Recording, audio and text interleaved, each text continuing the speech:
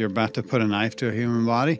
Uh, that's a rare thing, and you're never going to forget it. So I just called up a lab. I was like, "Hello, this is Dr. Hedley, and I would like a cadaver, please, in a laboratory in which to cut it up." There's another side of our field who are, who literally say adhesions aren't a thing. You having seen thousands of bodies or tens of thousands of bodies at this point, what do you know about that? You can bring back fluidity to tissues through through movement. Uh, You guys and- hear that yeah. out there? F- y'all. And, and those people who say you can't do it won't do it, and they can sit on their asses and turn into wood. We talk a lot about poop on this show. We are in in poop trouble. We're in deep shit in this country. What is so amazing about foreskin? oh my god!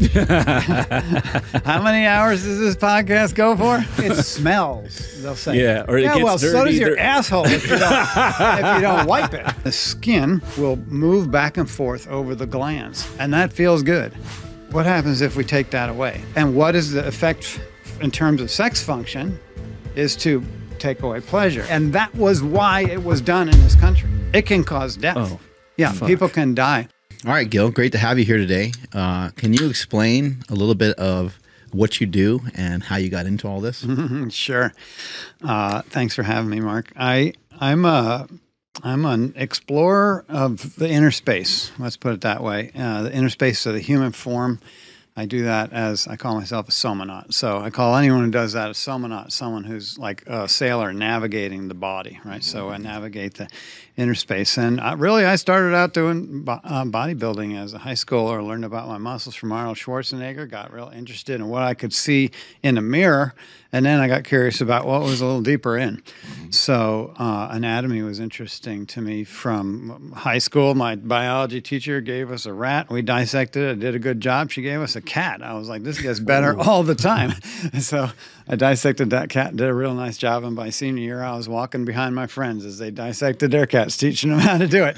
and so. Uh, well, I, I didn't get to do much of that in college, although I bagged a lot of fetal pigs working in a anatomy lab. And then I, um, Wait, wait, bagged a lot of fetal pigs? yeah, bagged a lot of feet. I, I worked. Uh, I was like, I'm work, sure a lot of people have in college. yeah, work study in college. I, I worked in a biology lab, and Yeah. so one of my tasks was to autoclave fruit flies and scrape the maggots out of the jars. And another one of my jobs was to bag the fetal pigs and get them ready for dissection. Wow. Uh, okay. But when I got to, uh, and I did a lot of lot of lot of weightlifting, kept up with that. Got into Tai Chi uh, in grad school, and that got me even more interested in the body as well.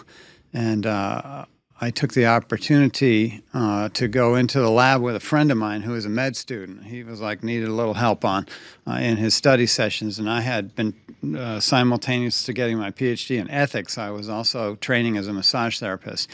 And so I had a little background. He was happy to have me there with him on Saturdays in, in Chicago in a lab there. And uh, so I did my first dissections just with a friend that way. They would have done an arm earlier in the week, and then he's going to study the arm for the test on Monday. So there was one arm left over. He's like, it's yours.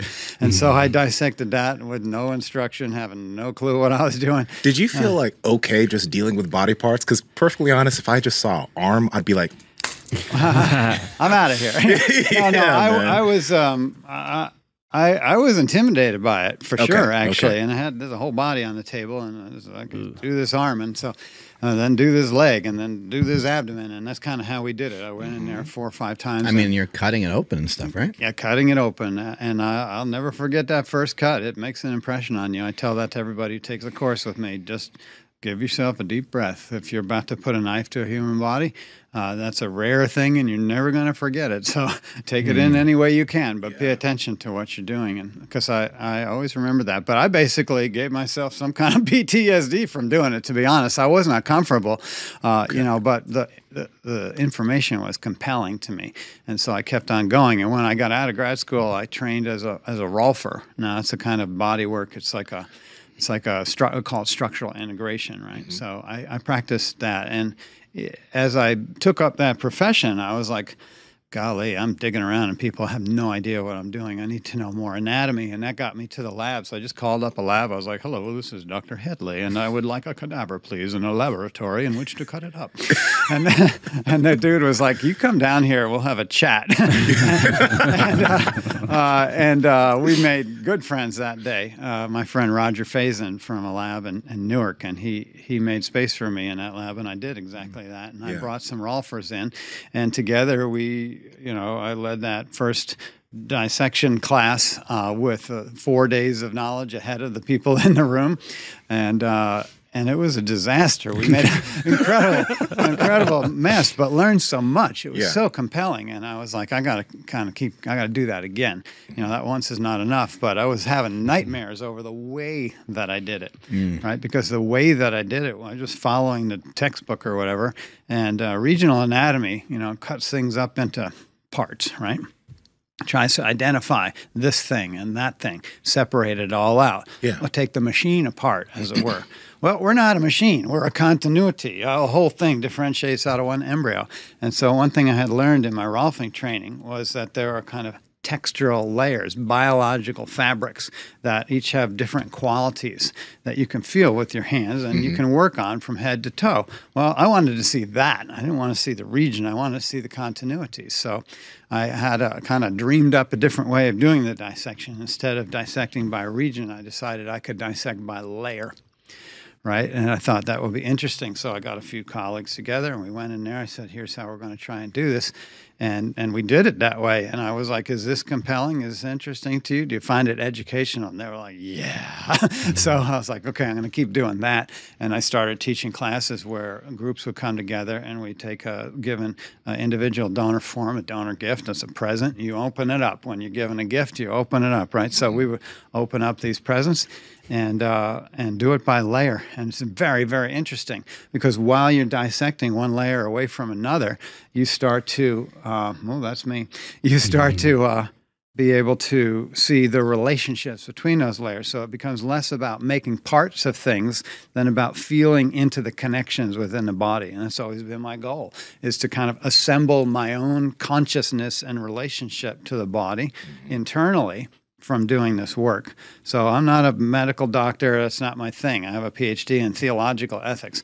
I took this up as a as a way of becoming more embodied myself and helping facilitate other people do that. How mm do you get in there if you have no no sense of it, no visuals, if you have no, no nothing to imagine yeah. that's accurate, right? So how can you feel into relationships? Well, you can touch them with your hands. You can take it apart. You can feel the resistance as you try and take tissues apart. And that resistance, instead of trying to make a thing out of the out of it, the resistance tells you something about the relationship, the connection, the strength, mm. the integrity. And so I'm trying to put together the body by dissecting it rather than turn it into parts and things. Can you tell the difference between like a body that may have been uh, the person may have been stiff or tight or maybe didn't move well versus someone that might have moved more fluidly.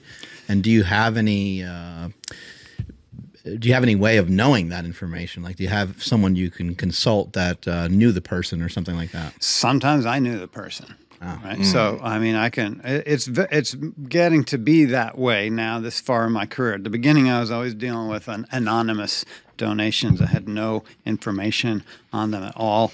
Uh, so I'm just kind of just stuck with what's in front of me, which isn't a bad thing to go by because often people don't know what's going on inside their body. There wasn't enough medical records to determine what was going inside that body. So I'll actually end up knowing more about them than they ever did, even about themselves. But uh, I can look at the joints, I can look at the bones, I can look at the, the texture of the tissues, but they change and alter when you die, right? So yeah. if, mm. if you're embalmed, for instance, if they embalm the body, meaning preserve it, right? It's a kind of like a pickling process, like a like a room temperature pickling process. This and, is reminding me of Dexter. Uh, no, know, he didn't bother pickling them. He didn't guy, pickle. That's yeah, he, he he was unethical. That guy, you know, he, he he didn't ask permission. You know, mm. he, he he took liberties, and I I don't do that. I, just, I know. I just work with gifts. So the the um. Uh, the texture changes that happen both from just dying, right, and now all the all the tone goes out of the body right? So, so the same thing under anesthesia. They put you under anesthesia, you go to a puddle, right? You don't have any more tone in the body. Same thing happens when you die. The tone leaves the body, and the tone is the signature of those stressors in your body, right? So some of that is gone, and I don't get to see that. Uh, Where do you think some of that tone comes from? Does that come from like nerve impulses or Yeah, absolutely. Yeah, it comes from your emotional organization, right? Like, in other words, the way you put your nervous system through your body is going to generate more tone in some areas, less tone in other areas. Also, there's going to be more um, even fibrous buildup in some areas and less in other areas. So you mm-hmm. can ch- the the mechanical tissues can be altered by life, right? So that if you use something a lot, it'll grow and build and get stronger. If you don't use it so much, it'll shrink and get atrophied. So I can see the signatures of that in a body. Mm-hmm. But I'll tell you, a body can change a whole lot in three months before you die. So you might have been a robust build all your life, uh-huh. but then you get uh, mm-hmm. some wasting disease like cancer, and in one or two months, every all that work is gone, gone up the flue in, in a month or two. I had that uh, to be the case with a younger man, 53 years old, who I, I worked on for what I call my A to Z project, and he had been a very robust build. He was a friend of our lab director, who was his massage therapist. Uh, but then he was a very skinny, you know, skinny form on the table. So, you know, there's a lot of illusions that happen, you know, in that transition from the from the vitality of life to your passing. And so sometimes I get I get clues that aren't quite accurate, right? So, But but I can look in those tissues and still you can see stuff like if you're in a car accident or something you get pins and plates put in and all that stuff, and your body tries to accommodate for those changes and injuries, you'll see some very strange things in the body in terms of the organization of the tissues. But can I tell if somebody was a yogi or something? I'm not so sure. Do we know if you can see fascia or not? Like, do you know if you can see it? I've spent my whole career seeing fascia. yeah, absolutely, and uh, and also I- What, what is it? Can you describe it to us or tell us, yeah, more about it? Yeah, sure. So, uh, fascia is basically uh, what might say an aggregate of connective tissues that can be dissected into a sheet. That would be a real basic definition of fascia. It wraps around other tissues, um, so you can define it in a negative that way. But fascia also is a is a living matrix of your body, right? It's it's the it's that in which everything else is growing and taking form. It's the shaping element of your body, but it's also a whole body communication system, right? Because forces transmit through it. So your forces of uh, just your gait or your stepping or your movements, your behaviors, your emotional life, all those forces are going through the fascial network and impacting the whole body simultaneously. There's no escape from it because it's a eh, well, my friends Rosemary Feitis and Louis Schultz called an endless web, right? So that endless web uh, is is the the fascial matrix uh, of your body, basically. So, uh, connective tissue is the larger category in which fascia is like a lower down in the totem pole of anatomical nomenclature. So, we have connective tissue, and within the connective tissue framework, you have blood, you have bone, you have fascia. So, fascia is is uh, an element. Now, I go through a lot of work over my career to help people not just have one idea of what fascia is, right? So there are different types of fascia in your body, right? There's there's a dense, regular, fibrous fascia like your IT band, but your IT band is embedded in another kind of fascia that I call perifascia, and that's a more slippery, membranous substance that you can also is a connective tissue aggregate that can be cut into a sheet. I can Is show this it to you all uh, day long. maybe a little bit akin to like the way that you you know bite into a steak, and sometimes there's fatty tissue that you can easily eat and goes perfectly with the muscle, and there, other times there's a fatty chunk that you kind of just need to spit yeah, out. Yeah, mm-hmm. exactly. You are nailing it on the head, right? So the, the I didn't think it would be that simple, but It is that simple. So the the the the stuff you got to spit out, that's the dense regular fibrous fascia, or you might call it deep fascia, fascia profunda. You know, so we call we call it that. And then that the- kind of have that white? It's like uh, like on a steak. This is my only comparison since I've never Yeah, hacked yeah. open a body. Oh, it works. But it has like a little. Uh, I'm afraid you are steak, my friend. It's, yeah, I am. It has a little like sheath of uh, like white over top of the muscle, and then if you go to cut into it, you're like, "What the hell is that?" Yeah. You can't find a knife sharp enough to cut through it. Yeah, so that the, the kind of the delicious fatty layer that would be like superficial fascia or the subcutaneous adipose, and then that fibrous layer that would be the dense regular fascia. And the fact that you can get those two apart is because there's a membrane in between them. That would be the perifascia. Gotcha. Yeah, so it's all there in your steak. It's a- what fascia is this? Sorry, Zuma. Well, that would be a dense, regular fibrous fascia in that image, right? So you can see there's multiple directions uh, of the layering of that tissue, right? So there's there's a up and down fibers, and then there's a cross fibers. And what we're looking at actually there is the IT band, right? And that's uh, and I'm gonna I'm, if I pull on it in one direction, right? Those fibers might approximate and get closer to each other, the up and down fibers. Right now, that's pulling in other direction. It's like rubber bands. You see that? Yeah, So, that's amazing. so when this is when you say I've never seen that. That's make a awesome. make a muscle, right? If you say mm-hmm. make a muscle, right, and a ch- and the body changes shape, right? You get a bulge in your biceps, you get a bulge in your thigh. Mm-hmm. That bulging is possible because those fibers going across the screen there, right, are are arranged. The collagen is arranged in such a way that it can expand like a rubber band.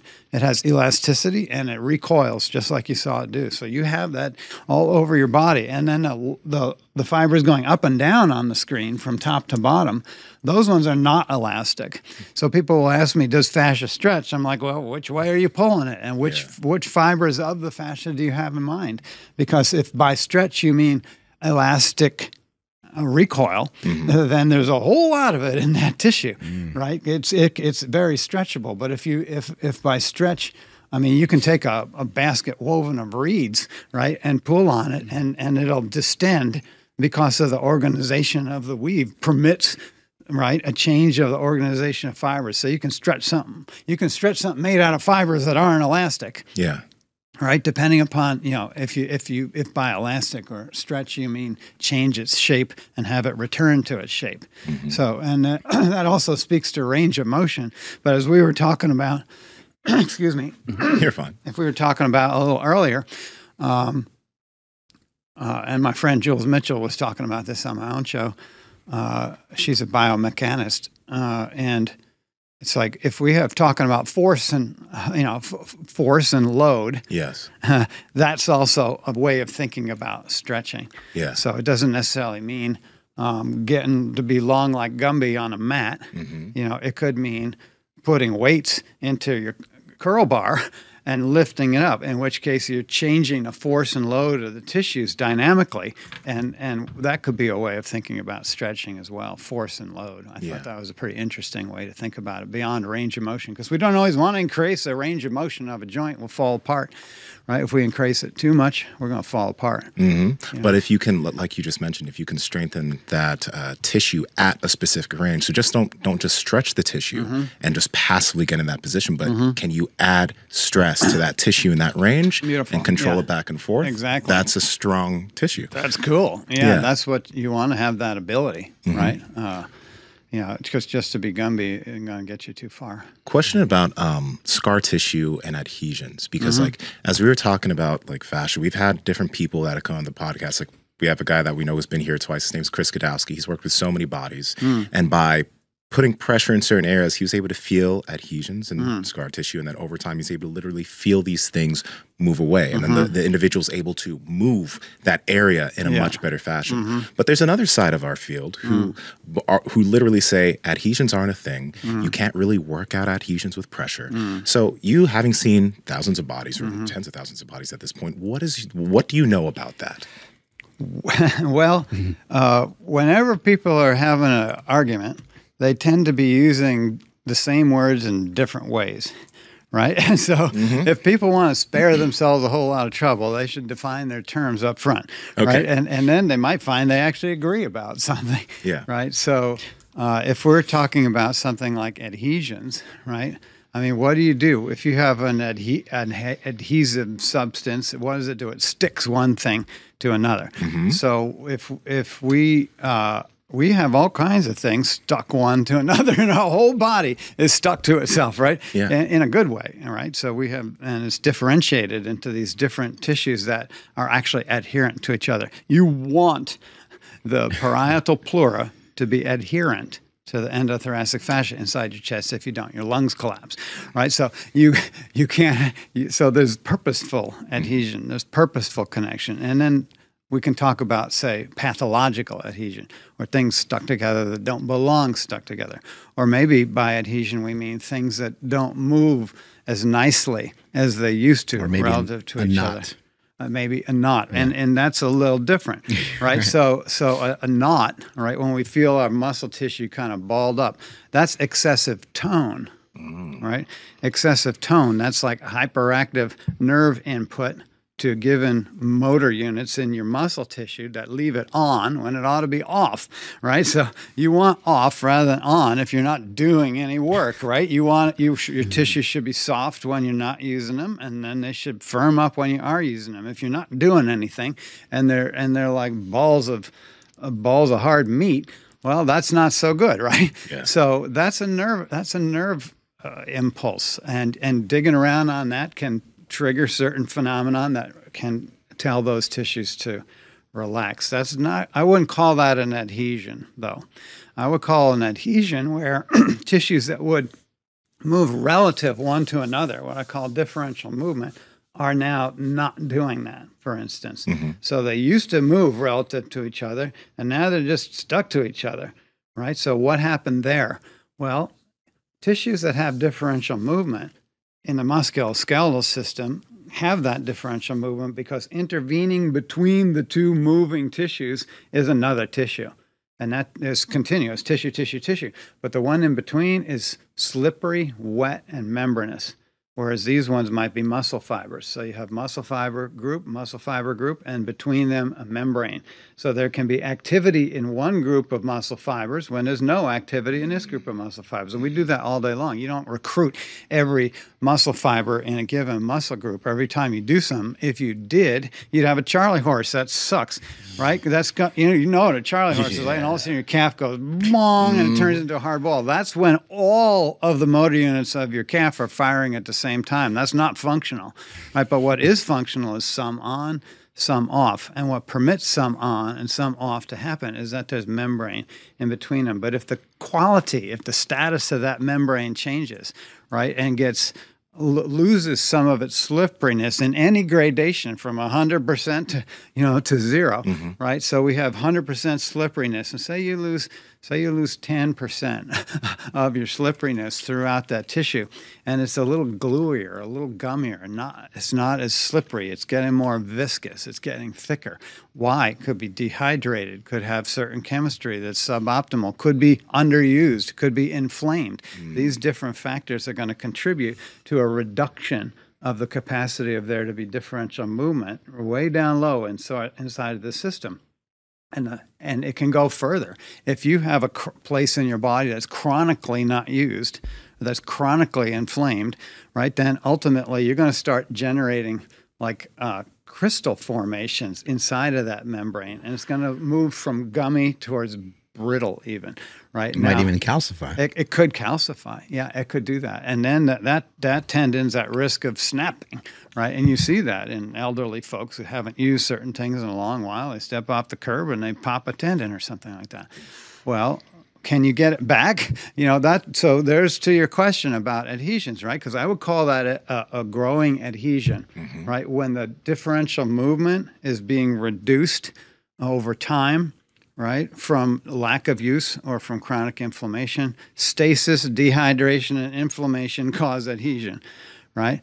And movement is the opposite use, right? So once you activate those tissues, they're like, oh, this is what we do. We do this. And then your body's going to bring fluid to that area and things are going to get improved. So you can go in either direction. So, and you can either move yourself or someone can move you. So if mm-hmm. someone's touching, like the example that you gave, they can work the tissues in such a way that it, it reproduces the notion of movement for that person, right? And so now you're moving for them. Well, that can be good because not everybody has to get up and go. Well, they need mm. to be facilitated. And then once they feel it and once they've been moved, then they'll move, right? And then they can keep that change, mm-hmm. right? Because even even the pressure on the muscle is kind of movement in a way, it- and, absolutely. and stretching in It- some it- degree. it- is, or the elbow of a rolfer or a body worker, right? Some uh, or PT, what have you, right? You put pressure, you call for movement, right? Someone wiggles their foot while your arm is on their calf, and you are literally changing the texture of the tissue,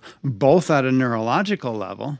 but also at a physiological level in terms of the viscosity uh, uh, of the of the interfaces of the tissue, right? So you're bringing fluid, you're bringing life, really. You're bringing circulation, you're washing out old stuff. You're you're you put pressure and you kind of dry out the sponge in the capillary bed and you take the pressure off and the body restores the fluid as you take the pressure off. And so then you can you can bring back fluidity to tissues through through movement, whether it's yours or or whether it's through help.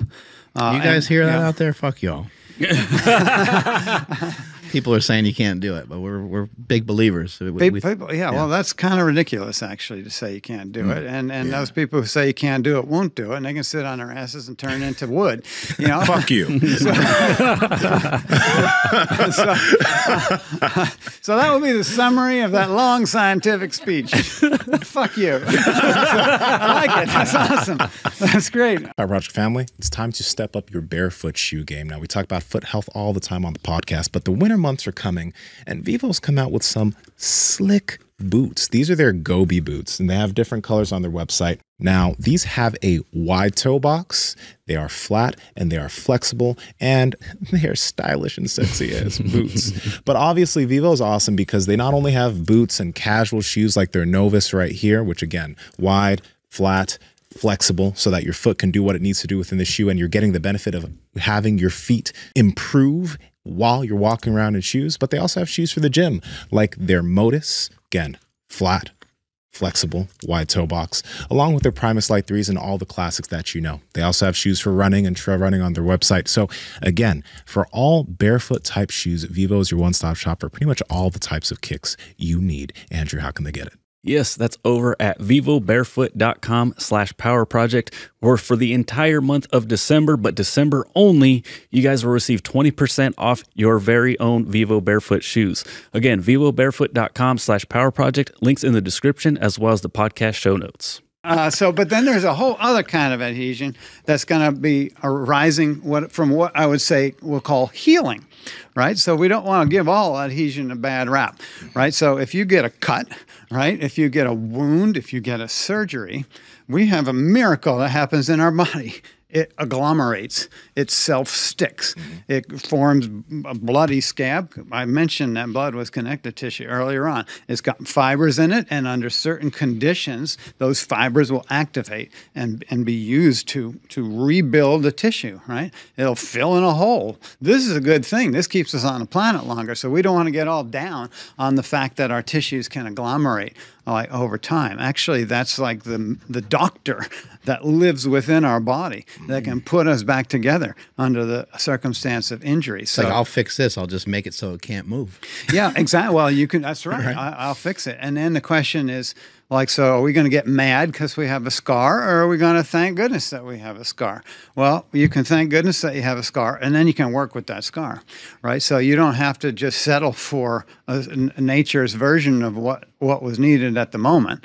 Right, you can you can approach that tissue, and you're not gonna you don't want to make the scar go away. It's holding your body together, right? But you can change its pliability, the level of circulation that flows through it, the ease with which nerves pass through it. Are they stressed or not stressed? Are they pinched or not pinched? Are they getting blood supply? Are they not getting blood supply? So you can work with scar tissue in, in a way that restores pliability and circulation. You can have that that agglomerated tissue that represents your healing without it being an interrupter. You know, without it without it uh, taking away your movement potential to a certain extent. You know, certain time, there are certain events that happen to a body that that you just be glad you still have a body and that you're still in it. You know, So we can get some blood back to the area uh, with movement, with uh, stretching, with uh, perhaps having somebody, a body worker, uh, working on us. Um, and I'm not sure how aware you are of like uh, voodoo flossing, you know, like wrapping an area. I'm aware of voodoo, but not voodoo flossing. compressing an area, uh, wrapping it tightly with a elastic band, and then Oh. you're cutting off the circulation to the Okay. area. And then the idea is when you take it off, uh, circulation kind of goes back into it. Okay, that's So there's interesting. You gotta be careful with that. You got to Okay. know all about uh, tourniquets, and you don't want to like. Yeah, wanna- overdo it. Wouldn't want to overdo that. Yeah. Right. Because then the arm falls off. yeah, not so much pressure where the arm's changing color. Yeah, I think we do like uh, maybe thirty to fifty percent of a rat. You know, you're not you're not you're not yanking it Well, hundred percent. There's a video of uh, our buddy uh, Kelly Starrett messing oh, with that. Kelly, uh huh. That's a friend of Jill Miller's, right? And so yeah, and so what we'll do a lot of times is we will tack down the fibers by wrapping it up the way he's doing so there. Uh-huh. And then once it's wrapped, you will spend two to three minutes or so, Okay. uh, m- just moving that area around. And now that rubber band, because of the elasticity to it and the stickiness of it, Uh-huh. it's going to move the fibers around in the elbow and in the forearm where Kelly's wrapping. And uh, he'll get uh, some restoration from that, Mm. and then he'll release it. Mm-hmm. And then the idea is that more blood flow comes to the area. We we've had a tremendous amount of success with this. We don't know like all the science behind it, but Well, that's very interesting because what it's kind of doing is replicating certain types of body work, right? Yeah, absolutely. Where, where they just, I mean, uh, as a rolfer, I would just lean on somebody with my elbow for several minutes, right? And not and your that. and, your elb your skin and the other person's Mm-hmm. skin could have like friction a little bit the way that band does, and it can kind of pull and absolutely. stretch. Right? Yeah, absolutely. You're shearing the tissues, and pressure and shearing at the same time. So that's it's cheaper than rolfing. I don't know what you pay for the tape, but Not much. a rolfing much. session is not cheap. But the, the, it also won't love on you quite the same way. But I think that's pretty cool. Yeah. When you get an opportunity to look at a body, um, you know, my understanding is the body's made up of a lot of water and Mm. a lot of, you were mentioning hydration, and it's Mm-hmm. important that there's uh, some hydration kind of so that these uh, muscles, tendons, ligaments, and so forth will slide and glide and move very smoothly. Mm-hmm. And then you mentioned the word viscous. I've heard before that some of that water that is in there is kind of viscous, is kind of uh, thick or gel like. I don't know. Is there any truth to that? Yeah, not in a bad way. Mm-hmm. In other words, I mean, we use our words and it generates ideas in our mind about w- what it is actually like. But the living body is like a gel. Yeah, it's more, but a slippery, a slippery gel Mm-hmm. um, for sure. And then again, the question is like, what's its status? What's its quality? So uh, we're we're we're want we're wanting the the slipperiness and uh, and you can there's this concept called thixotropy, okay, where the, the, the thixotropic effect is where you take something from a gel state and put it into solution through pressure. So you, and that's like a bodywork activity, right? You put pressure on something, and, and then maybe you can you can uh, put it into solution and then facilitate change. That's one idea of how something like Rolfing works. Although they might you can't do that to all the tissues. Your tissue isn't just like a big jellyfish, right? You have some are harder, some are more fibrous, and they're never going to turn to gel. And if they do, you're dead. Mm-hmm. Right? You're a liquid at that point, and life is not good. But there are those membranes, those interfaces in your body, and that's where that gel quality is represented in your tissues, right? So you you can you can actually intentionally go to those layers right and work with that gel. Look look at my you know you We've mm-hmm. got that ability. You can't do that to a tree. The tree bark doesn't slip and slide like that Right. Mm-hmm. but we do. Now that's uh And I've helped some people before with their pain and Mm-hmm. pain management and just a little bit of body work stuff. And Yeah. some people's tissues won't move like yeah that. move at exactly all, Uh, yeah, uh, yeah, at all. do You'll try to move their forearm around or something, and Yeah, it's, it's- like a brick. It's, it is. that's right. There's no differential movement, and it may not be differential movement on the outside, and you may not have differential movement on the inside. It could be like sclerified, right? It can get solid, and so uh, now we talked about knots, right? So if you have knots that last for years, right? Eventually, that that tissue quality is is not having that gel quality. Mm-hmm. You know, it's it's gummed up, right? It can get permanent, right? Mm-hmm. Permanent in the sense that it's long lasting. I'm not saying permanent in the sense that you still can't change it. I do believe you can change just about anything. This is an expression of mind, an expression of consciousness, and we can change our mind, right? And if you can change your mind, your body's going to follow suit. So that, that's um, that's just the way it goes. So that that solid feeling is is is the loss of differential movement from and but you can lean on that.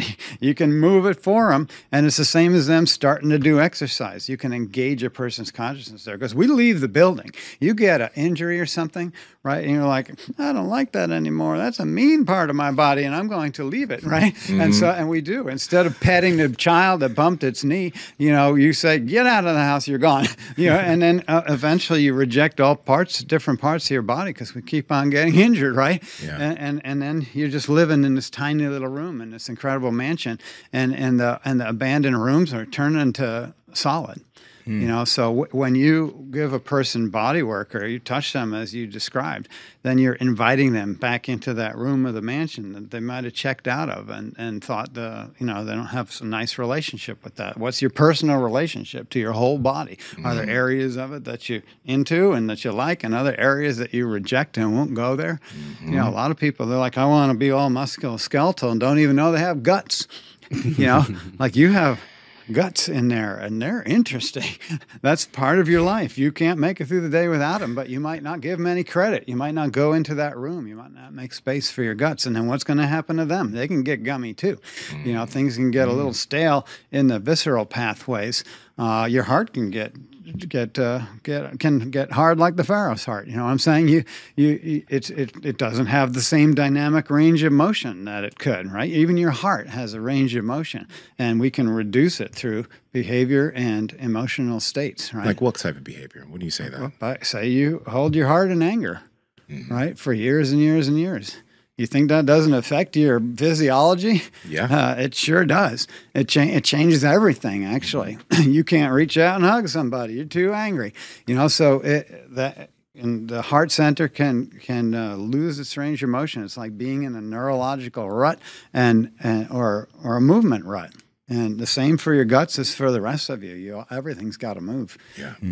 You know, I, I just want to, because Mark, you mentioned the hydration thing, and that is like an extremely practical thing that applied we shouldn't really gloss over because a lot of people they're not drinking many liquids or they're electrolyte deficient. So when they try to go do these things or when they go to a body work or when they're trying to move they lack you know they lack hydration. They're lacking mm-hmm. the thing that'll allow them to actually start to feel better when they're trying to move into these ranges that maybe they haven't before. Let's talk about that. Because so hydration, right? We can chug some water because we're thirsty, and then we can piss it all out a few uh-huh. minutes later, right? Because basically, your tissues have to c- call for water, mm-hmm. right? So if you don't, if you drink water and don't move, like you drink water at your desk, you're writing your book, and you're chugging water, and, and you got a bucket underneath the desk, and you just p- put it in one end and piss it out the other, right? You're not getting hydrated from that water because you're not integrating it through movement into your body. You're not, the tissues aren't demanding.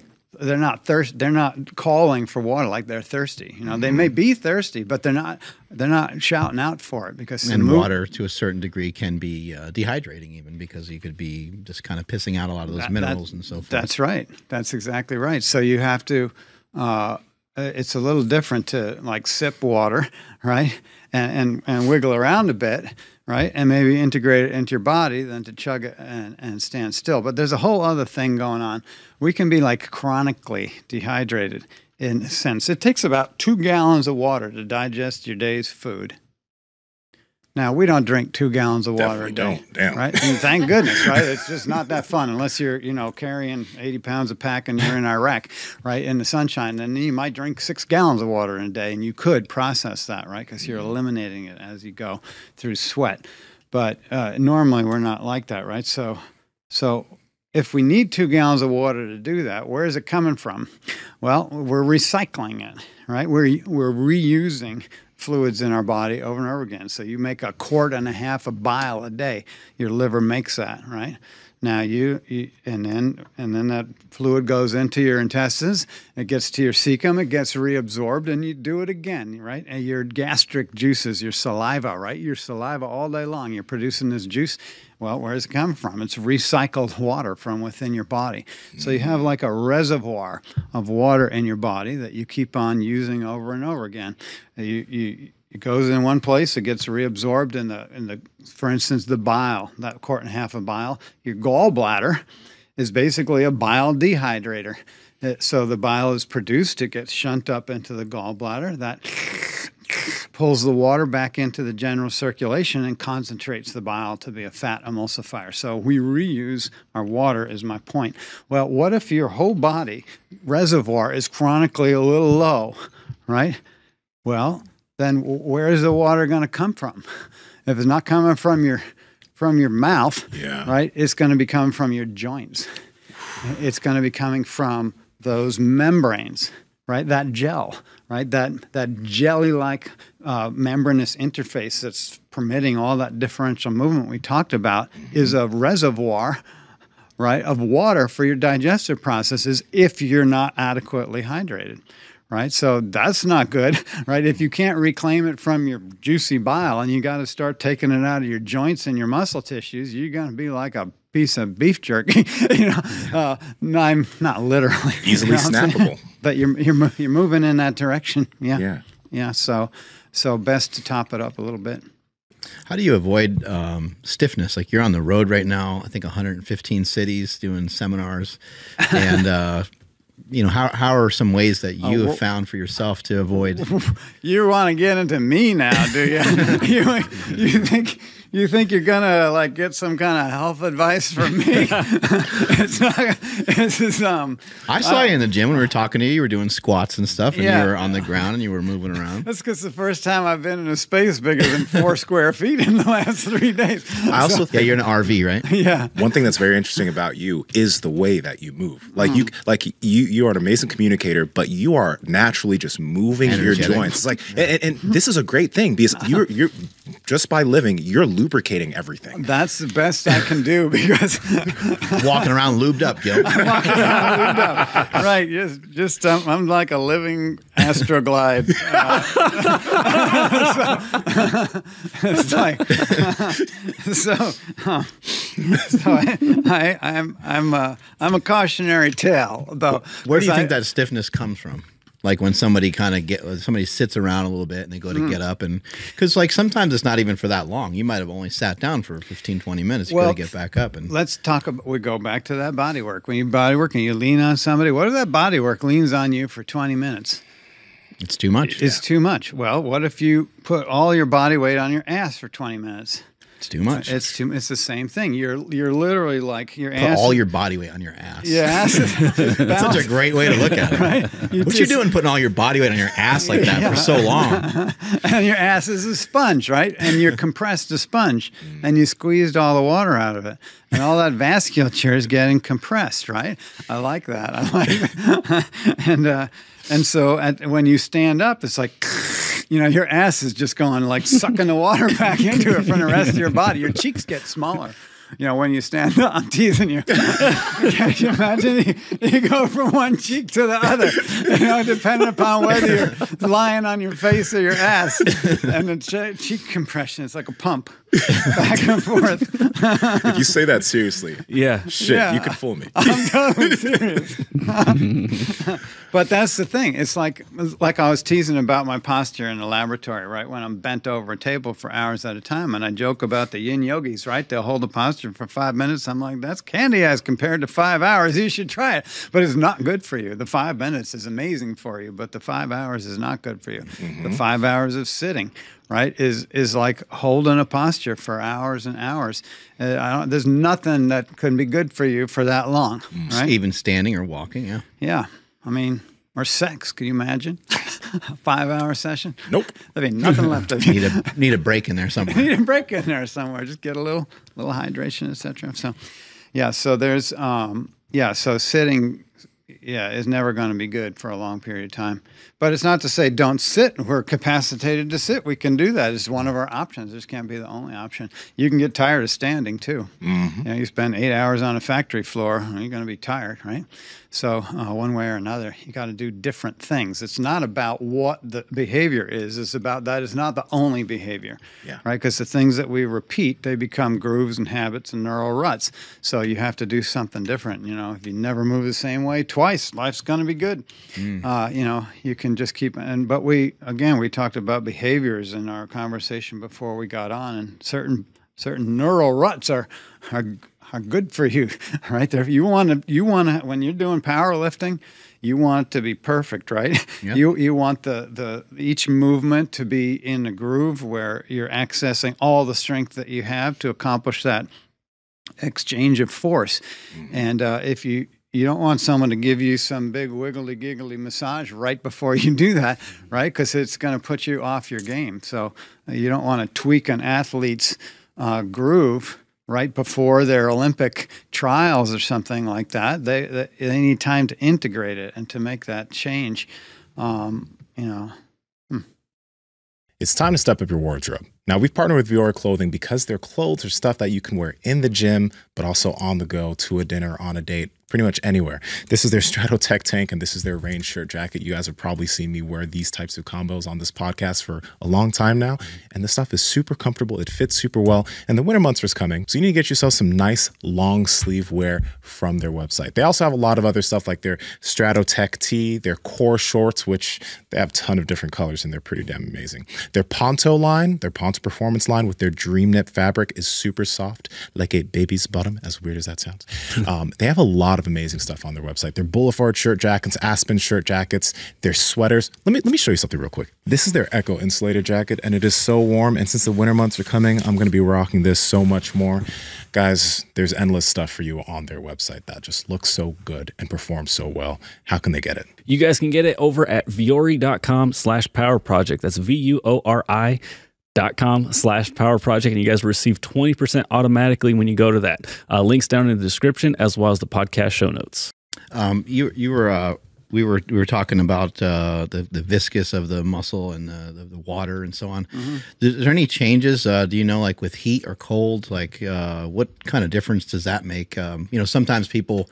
Uh, their bodies might be stiffer when it's cold out. Oh, it's raining. You know, my ankle always hurts. Like, what do you think's going on there with stuff like that? Huh, that's something to think about. Well, with the changes in temperature, you're going to have change in the way the blood flows through that given tissue. Yeah. And so if if uh, you know if your blood is withdrawing from a certain area under certain temperature conditions, then um, that might have been just what was necessary to have made it feel good. When you take it away, it doesn't feel good anymore. So I would lay most of that at the door of, of changes in circulation based on, on temperature. I've seen your uh, speech on fuzz, and you were talking about this fuzz, this uh, um, kind of a fascial layer, and you were saying that uh, it will almost melt away as you're touching it. Is that from heat from your hand, or is that from That's from an else? illusion, is what that's Okay. from. Okay, so what I called fuzz early in my career, because I'm telling you, I didn't have, you know, I just went into the lab and started taking bodies apart. I didn't Like, have what's a- this fuzz any here? instruction. Yeah, exactly, exactly. I'm pulling the tissues apart and I'm seeing cotton candy between them. Well, w- what is it? Oh, there he is. That's oh, look at when my hair was dark. Yeah. so, so that that um, that cotton candy tissue, right? It does appear to melt away when you touch it. But what I'm actually doing is we've been talking about these membranes that are the interface of differential movement mm-hmm. earlier in our conversation. That's the fuzz, right? What we're looking at in the cadaver is that membrane being torn apart. I have pulled it out of position.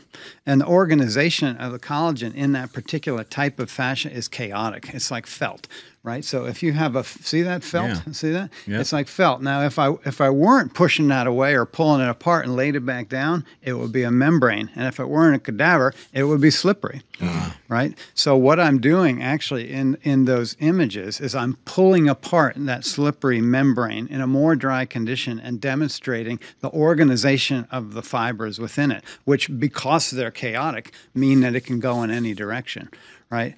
Now, and if we're alive, then that tissue is jelly and, f- ah, and fluid, gotcha. right? And so when I say melt it, what I'm really again, I, I was saying that, that the images in this picture in this video are a little confusing because they give you the impression that we're dry, mm. right? And we're not dry, and it gives you the impression maybe that those fibers don't belong there. What they do, but here's the thing: even though the visuals can be a little distracting, we can have aberrant fiber growth in our tissues. We mm-hmm. can have dehydration in your tissues. Yeah. So the words I'm using are accurate, but if we take it down to a microscopic level, right? You're never going to not have that tissue there. You'd be dissected, right? Mm-hmm. So you always are going to have that membrane there. But what's its quality? What's its condition? Is it in that is it in that slippery state, or or has it been reduced even five percent? Of its slipperiness. If you hmm. have a total loss of 5% of slipperiness in a given muscle tissue, it's going to appear stiff relative to something else. We're not talking about going down to beef jerky like I joked earlier. We're just talking about a slight change enough to change the viscosity of that slipperiness in a negative direction, right? So uh, we don't want to make the fuzz go away. Hmm. We want to change its texture hmm. in the direction of slippery as opposed to the direction of what I would call gummy. Because when it's getting drier or gummier, it's getting to be like glue. What do they make glue out of? You know, boiled horses' hooves, right? Oh, what do you make marshmallows out of? Do you ever take a marshmallow and stretch it like this?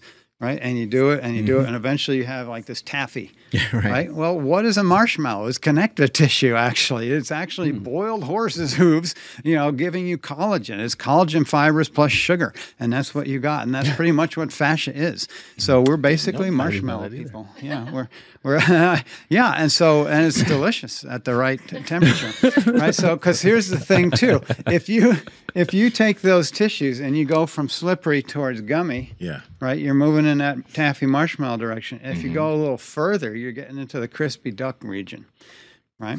So you can go from gummy to to crystal. We said so. That's basically the the pro- pro- progression from health to to uh, to problems Yeah. right? And if you have crystal and buildup in your tendons and things, they're going to snap, but they're going to taste better, right? Because it's the the Maillard effect. is a French uh, scientist. The Maillard effect is describing what happens in cooking, like when you caramelize onions or something, right? What are you doing? You're creating a complex chemical interaction between the fats and the sugars, right? And and and it starts to become delicious. It, it becomes it puts out smells and stuff. A little crispy. Yeah, a little crispy and it's and it's delicious, right? So the same thing basically. Your tissues can be like slow cooked from chronic inflammation, so that that same kind of Maillard effect is actually happening in your tissues, and that's why I'm joking, but you do taste better. Um, so Oh, I'm, I'm you're not sure which is the joke. are you? Yeah. you, you've prob you've seen so many spines, right? And I think A an in- lot of them, yeah. And an interesting thing that I, Mm. I see happening in the fitness industry right now is like there's a lot of people that are realizing that we don't have to only, you know, there's a lot of movements like the squat, the deadlift, Mm-hmm. uh, all these movements. People are like keep your spine in neutral position, Mm. and that's the way that most people train. But some people are realizing that well, the spine moves in a lot of ways, and you probably should, like you just mentioned before Mm. when you're talking about sitting. You don't want to stay in one position all the time, and your Uh-huh. spine, you probably don't want it to be in one position all the time too. So, what have you noticed from seeing spines? Uh, good spines, bad spines. Wh- What do you what do you notice? It's an incredibly dynamic structure. And we have sometimes an approach to the body that's mechanistic. And we think, okay, our arm is a hinge, you know, and it goes like this, and you just do that. But if you look at an elbow on the inside, it's super complicated. And there can be all kinds of fancy movements. Just trying to get this- too far away from the mic. Oh, sorry.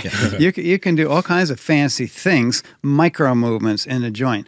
Now, the spine, similarly, right, has its organization, and yet uh, it's capable of all kinds of tiny micro movements within it. It's incredibly dynamic, and it's not so much a set of compression members, right, because it's actually kind of floaty right? We have our guts, right, are under different pressure differentials inside of your body so that your organs are actually migrating up towards the low pressure zone of your chest. And that gives your body a sense of lightness and lift, right? That we feel weightless in our guts. We don't feel the weight of them. Why? Because they're trying to pop out your mouth. There, this is a low pressure zone here, and they're migrating up, and that upward migration of your viscera takes pressure actually off of your spine and makes your spine like a it's like your head is a helium balloon and your spine is a, is a string and your your pelvis is this is uh, is like the handlebars on a bike and you've tied the string on the handlebars and you're going along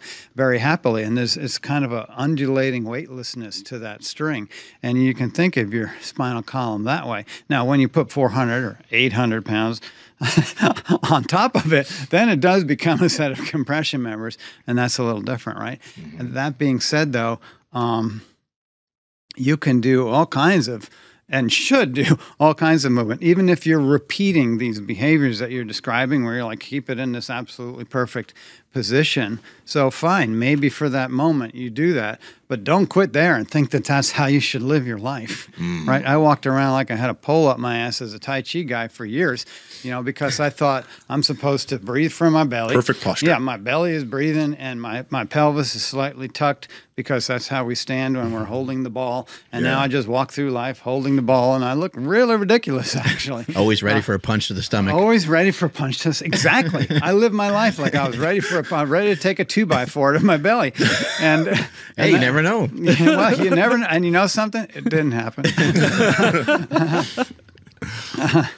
uh, so, um, so to your point, I just would agree basically and say, you know, to to to explore all the potential movements of your body, even if you are like in an art form of your lifting or something that asks you to do certain things. So, like I have friends who are way into into uh, Pilates, right? Now, Pilates that's hard stuff, Yeah, right? yeah. And those people are like black belts in in in their in their work.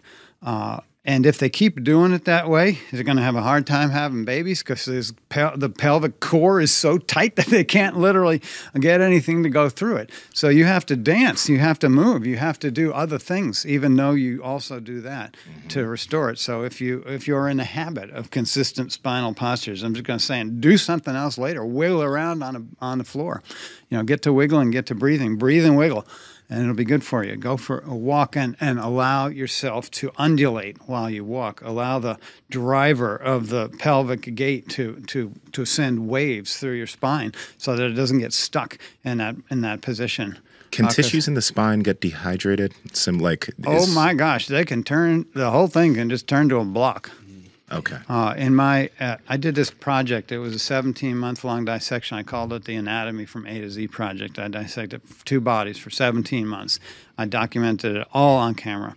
And one of the forms, I went literally bone by bone, muscle by muscle. I documented every muscle in the human body and put it all on camera. I dissected it on camera. I demonstrated the comparison on camera. I did that with every muscle and every bone. When I got to the spinal column, uh, the the one formed a, a Z, he had about eight fused vertebrae.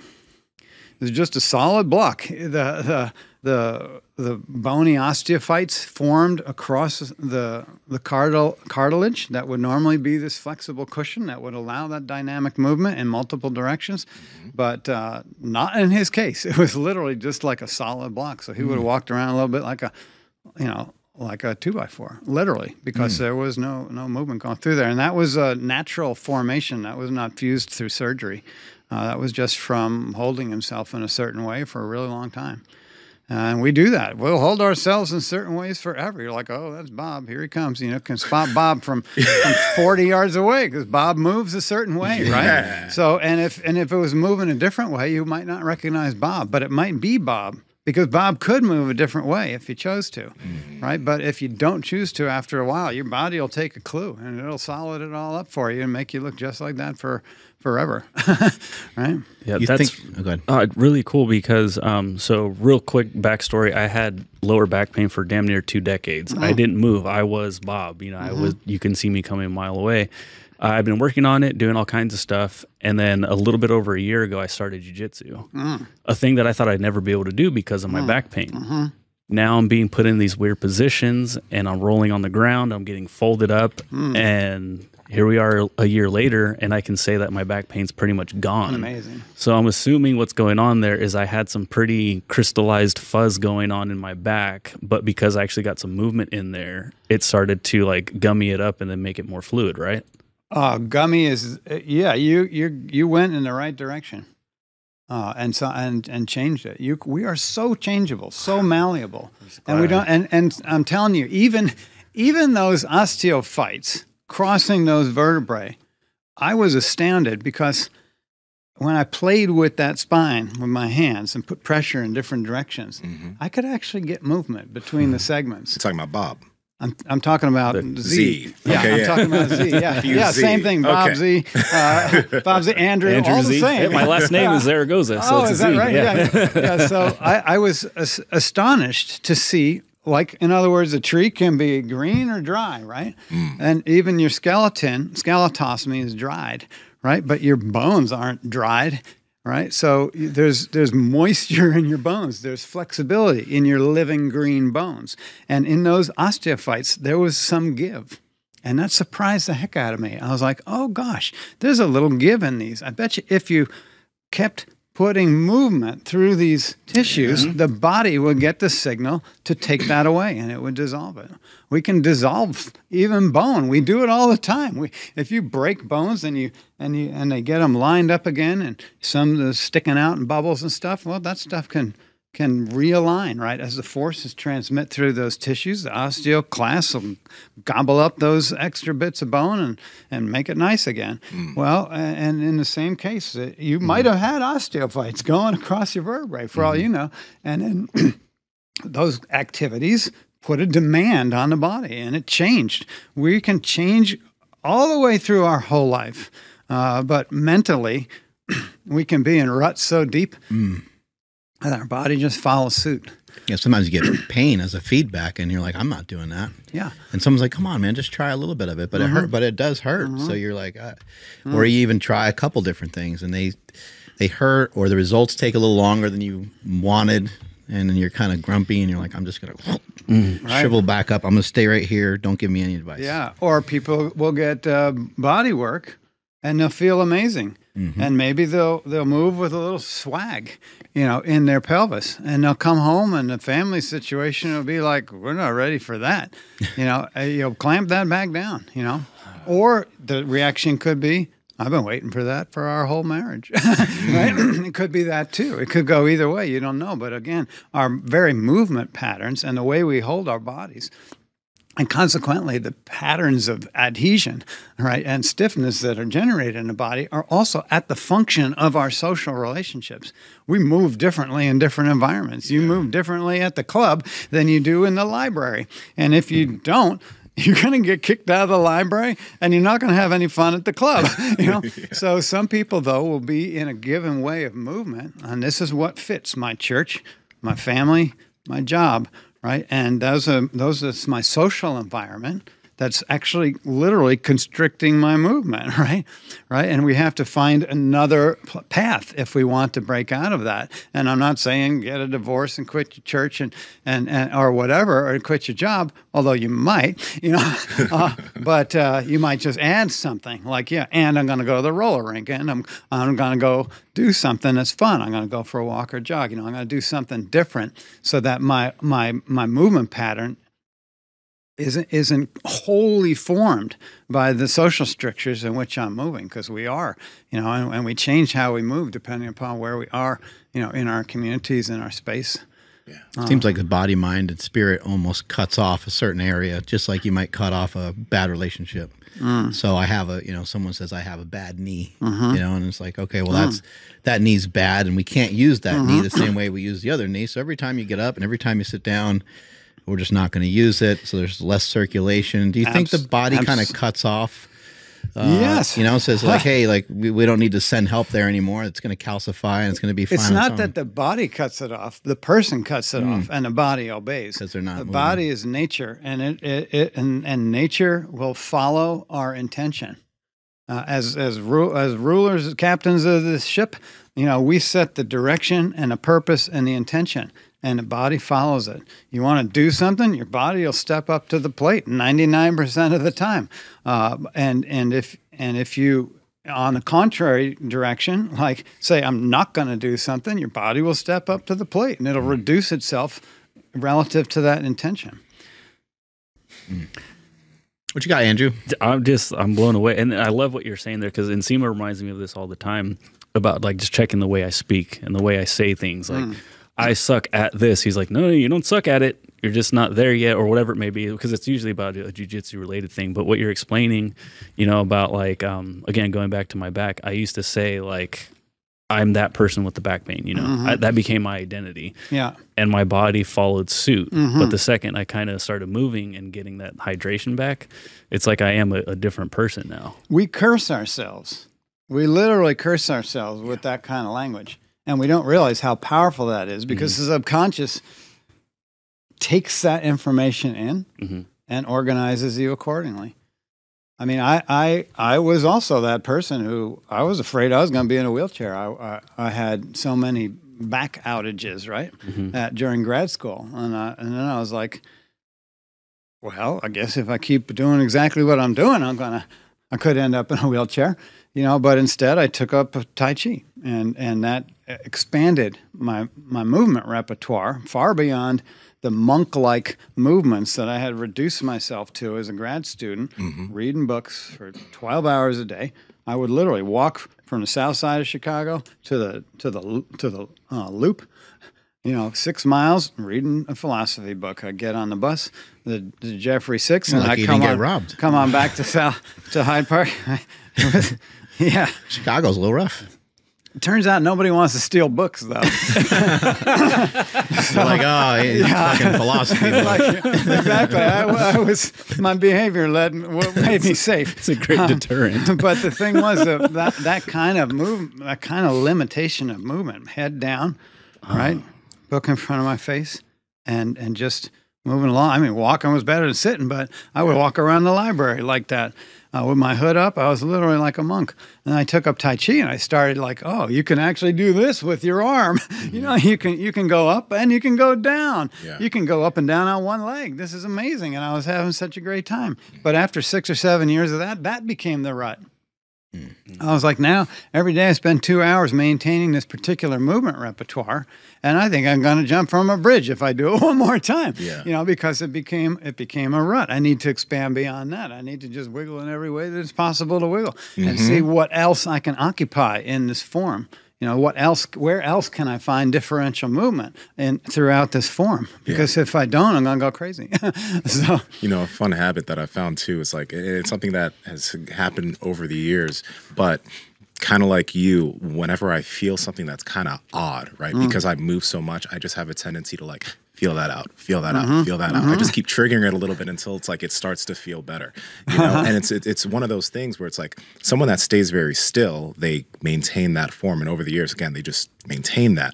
But if you're moving like you, and you just keep your body like adventuring and moving through these ranges, eh, you're you're going to be able to deal with a lot of things better. Mm-hmm. You know? I think so. Yeah. Do you get a chance to see the brain as well? So many brains and they're so pretty. I've looked at hundreds of brains. Yeah and uh, it's quite a world in there. In fact at the moment i'm actually in the middle of a tour where i do a two hour lecture on the brain as part of the uh, part of the thing. And we even do meditations because i like to take people in so that they can have kind of an internal awareness of that space and uh, become present to yourself. So you can actually move your attention around the body, put it anywhere you want, right? You can pay attention to your body in in different ways. If and to your point earlier, like can you cut stuff off? Well, yeah, you just stop paying attention to it. You just ignore it, right? Or you can bring your attention to it, and when you do, you bring it life and you bring it energy, and you kind of put it back into the into the system. But do you have any particular curiosities about the brain that I could attend Yeah. to? Yeah. Um, for sure. Uh, what like are there things that you can see uh, physically on the brain, much like with the muscle? Like I wasn't sure what your answers would be today about whether you could see fascia or how well you can detect it and so on. But it seems to be pretty apparent. Oh yeah. With the brain, is there stuff that you can? I know, I know you can't see like thoughts and stuff, but could you potentially observe that uh, eh, someone had like a potentially larger brain than another person? Or, Sure, you can like see what are some things you of- can see that uh, might give you clues about how the person lived?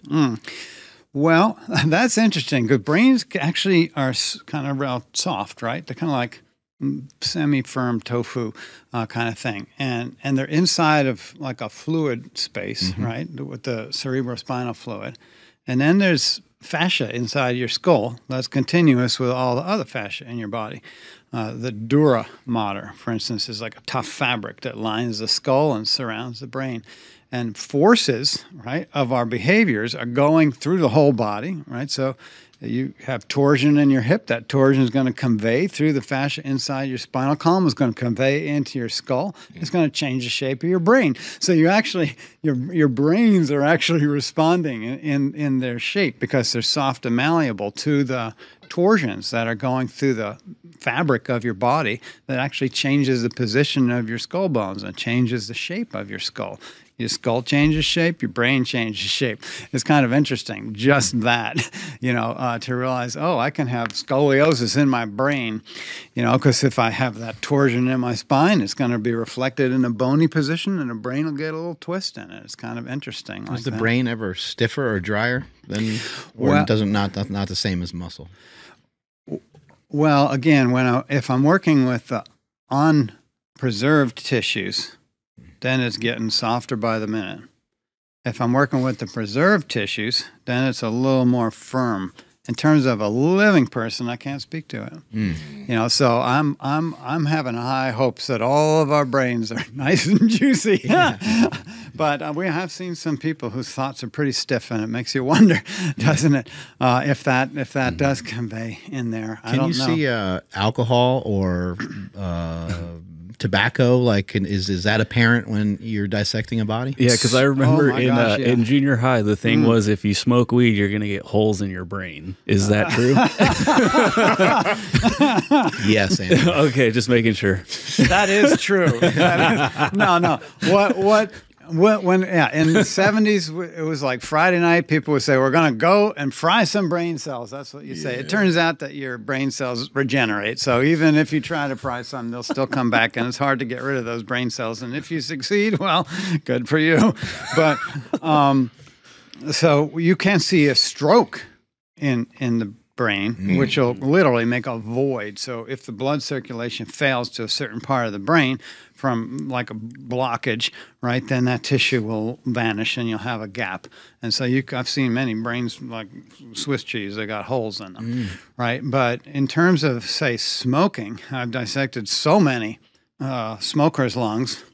And uh, I got to admit, they make you a little sad uh, when you look at smokers' lungs. That's just the feeling of it, you know, because you get feelings when you do this, right? Right, It's like not this guy sucks. Yeah. It, can't- it sucks that he couldn't stop doing it, right, and causing a lot of damage. Well, I mean, some for some people that's their only pleasure. Like I had an uncle, my uncle, he was a paranoid schizophrenic, and his his one pleasure in life was smoking. I wouldn't take that from him, even if it kills him. And he managed to live into his 80s because some of those old Hedleys were indestructible. Uh, but now my dad, he had COPD and died at 75 because he not didn't live as long as his brother, you know, but he smoked for 50 years. And, and I've, I know what uh, lungs of a person who smoked for 50 years look like. They look like little shriveled black sacks and they, and they have bubbles in them that can't ever expand or contract because the tissue is dead there. And so you get like hollow parts of the lung. That's emphysema, right? When, when it, you have, uh, that means blown up. So that means that the air has gone in there, but it can't get out, right? Because there's no more elasticity in the tissues that have lost their their properties, right? Yeah. So uh, and then they're like they're like black as charcoal. Uh, a lung that has been infiltrated with carbon, right, is going to change its color. They're normally pink. We all have pink lungs, but if you fill it with carbon, it, you know, so you can, that's super easy to see. And even the lymph nodes of all of us are actually uh, are actually black with carbon in our in our chests here because we're breathing smoke from cars and stuff, and they're doing the work. They're doing the job for us and pulling that out. And I always think if we were living around kitchen fires, right, uh, like we used to in a little cabin with a kitchen fire, and it would smoke up the house, we would have had much. We would have had smoky lungs back then, you know. But the smokers smokers' lungs, they get um, they get nodules, they get adherent. So lungs, when they expand, they twist on themselves. See, they have differential movement too. Each lobe is like a joint, and so there's a spirillic filling of the lung, and as it twists inside while you breathe, then the lobes slide over each other. It's quite beautiful. There's a light fluid in there. It allows them to be slippery relative to each other. But in that smoker, as long as they stick, and it just fills up like a block, it's like a knuckleball. There's no spin to it mm, anymore. Yeah. So there's a few things that are the downside of smoking, other than the fact that it also kills you.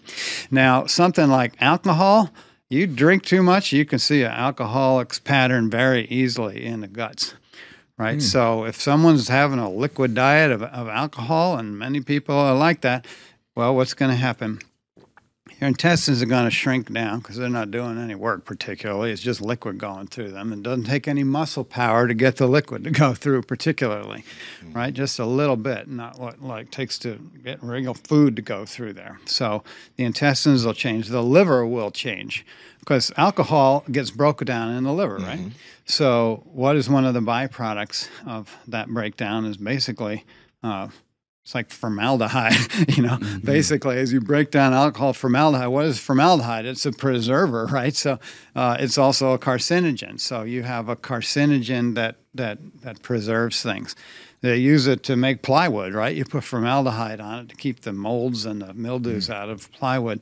So if your liver is producing that through the processing of the alcohol, then those toxic fumes, right, are perfusing through the liver tissue and pickling it while you're alive, right? So it it, it starts to kill c- cells within the liver, and and when a liver, that's the lungs expanding there. It's just Um, tripping me out. Uh, so, uh, so when the when the liver uh, hardens like that, it gets scar tissue, uh, and and gets hard and lumpy, and and you're like, okay, we got a, a liver that's going lumpy and hard. We got skinny intestines, right? And uh, and you start to see these evidence of like alcohol poisoning, basically.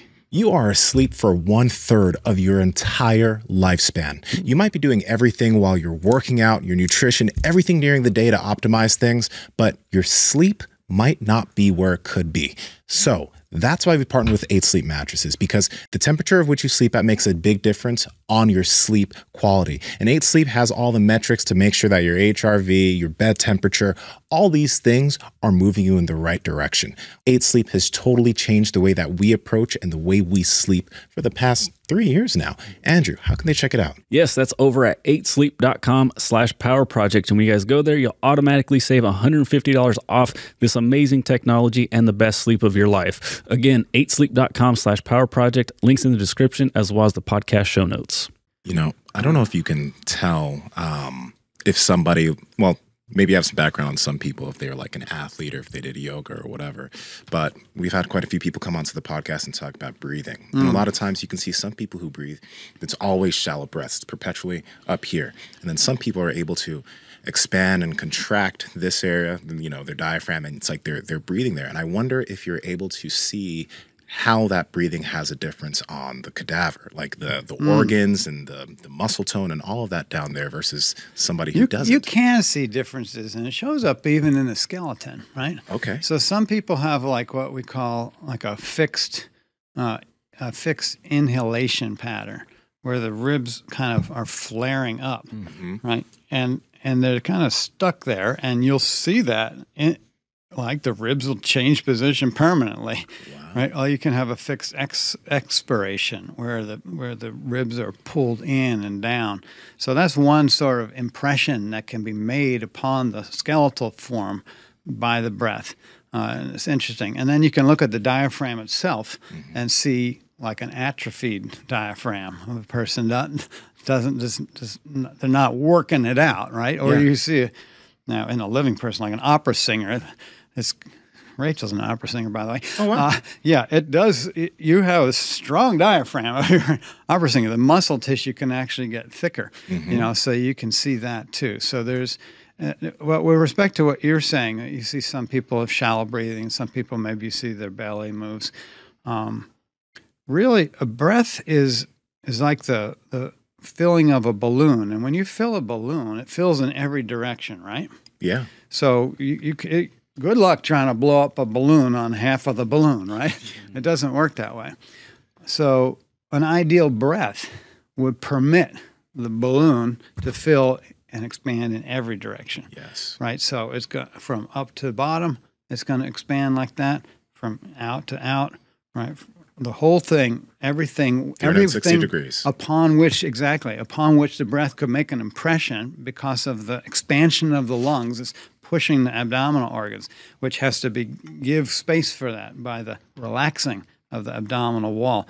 If people are hold, chronically holding their abdominal wall, right, then it doesn't permit right the displacement of the viscera in this way. Yeah. Because you think, oh, I look fat.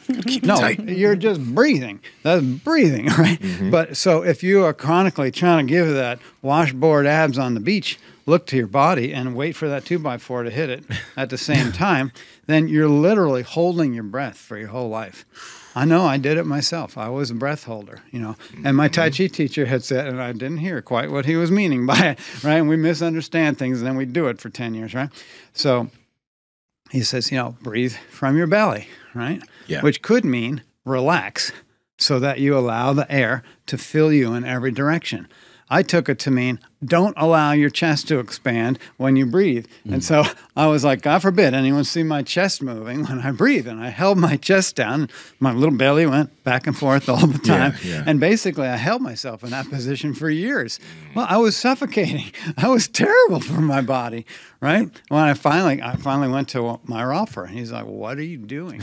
Why are you doing that? Stop doing that!" And I was like, "Oh my gosh, he's right. I'm doing something. I'm actually holding myself in a certain way relative to an idea, and we all do that. But it depends on what your idea is. Your i- idea might be I'm a free spirit, and then you move very differently than if your idea is I'm a monk, you know, Yeah. or I'm a Tai Chi guy, Yeah. you know."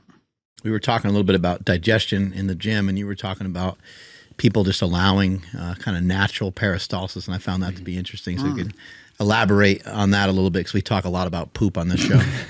well, well, Mark, I've thought a lot about poop, and uh, yeah, and basically we we are in in poop trouble. We're in deep shit in this country because, because we're we're throne sitters, and uh, we we think that's how you should go to the bathroom.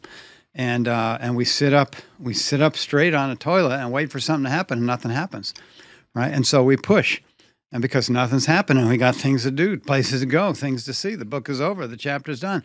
The fact that we have books in our bathroom is because it takes us a long time to shit. Yeah. Right? Because it's not coming out because of the way that we're sitting on the shitter.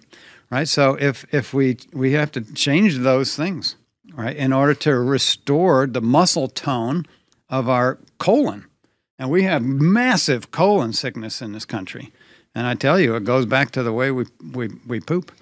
So Or you need um, coffee every single morning. or and coffee. There's all sorts of ways that we can make ourselves poop, given the fact that the positional element is is off. Mm-hmm. So we might drink coffee, and that caffeine will, will get it going, or or we might push. That's extremely common. We do what's called a Valsalva maneuver, right? We we hold our belly wall and we push down mm. and create pressure against uh, our colon that way, and then the body's like it's just squeezing a tube of toothpaste manually, right? But that's not the design at all. We have a wave, a beautiful wave of muscular contraction that moves naturally through the intestine. We have a little ring at the end. It's called the external anal sphincter. Mm-hmm. So if it's just not an appropriate time to take a dump, we can actually say, sorry, body, no, it's not socially acceptable to lay this one out on the kitchen table. We have to move to another room, right? So it might just, you're on a bus, there's no potty, you got to wait, right? That's okay, you know, but the thing, or there's a blizzard and then there's another blizzard and you're in a little cabin in a little house on the prairie and there's a rope going out to the outhouse and the whole family's going to die if in the blizzard. So you just hold it for a week and, uh, and or you just Protestant, and that's how it's done. you know, so God bless all the Protestants. I got nothing wrong with that. No, but I- I'm just saying that in the old days, you know, that was the thing. We're all the whole family's going to shit on Sunday, whether you want to or not. So, uh, if if we have these patterns, you know, how do we overcome those patterns and restore the natural peristalsis, the natural undulating muscular contraction that's native to our colon for health? Because if you're pushing, you're going to get hemorrhoids. If you get hemorrhoids, you're going to be sore. If you're sore, you're going to bleed. You know, and and and the toilet paper is going to be like you know rubbing. Uh, you know, all these things get in the way. right? So uh, we want to have pleasure in our body, not pain and soreness and risk of infection, and and and and that can be uh, not good. So, so what you do is instead of using the fake tricks like pushing, you just fold, right? Fold what? All the whole planet shits by squatting, right? But we have a chair, so we go. It's hard to squat on that chair unless you get up on it. Yeah. And you can, you can do that, but then they're gonna splash, and there's gonna be all kinds of. You're gonna have to lay paper towels down into Take the your pants off all the You way. can Take your pants off all the way, and then it gets splashy. But instead, you can just lean forward. It's the simplest way in the world. Doesn't cost a penny. All you got to do is sit on your shitter and lay your belly onto your thighs. It's easier to do than squatting, right? Because mm-hmm. it doesn't involve the ankles, right? Where you might have shortness of the of of the tendons there, and you might not be able to squat down. But if you just lean forward on, on the toilet on on your belly and breathe, right? Or drink a glass of water instead of a cup of coffee, and sit on the toilet and lay your body to your thighs, right? And breathe and wait. And you just and don't force it, don't push it. Just wait for that peristalsis because this is how your nervous system is built. Your nervous system is built so that when that thigh approximates the belly wall, it's against the colon, right on either side. And Yeah, you're yeah, talking to your colon. As you breathe, it changes the internal shapes, not pushing, but breathing. Yeah. Right. And and your you body will be like, oh yeah, and it'll start that wave and that poop will come out. All right, all right. Let me ask you this. Yeah. Does uh does your shit come out on the inhale? Does your shit come out on the inhale? When you breathe in your shit does, does like does your shit come out on the inhale? Yeah. Yes. Yeah, Yeah.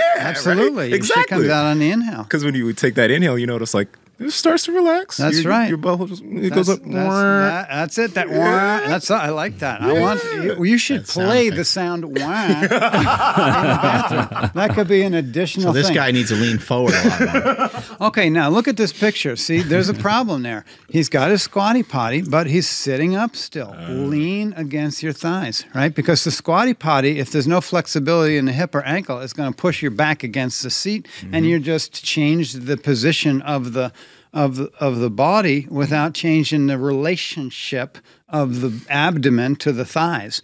You have to change the relationship of the abdomen of the thighs to poop naturally, hmm. and that's what squatting does automatically. When you when you squat, it it brings your thighs to your abdomen. You know, and if but if you sit if you it doesn't matter squatty potty or no squatty potty. The goal is to orient the thighs and abdomen into contact.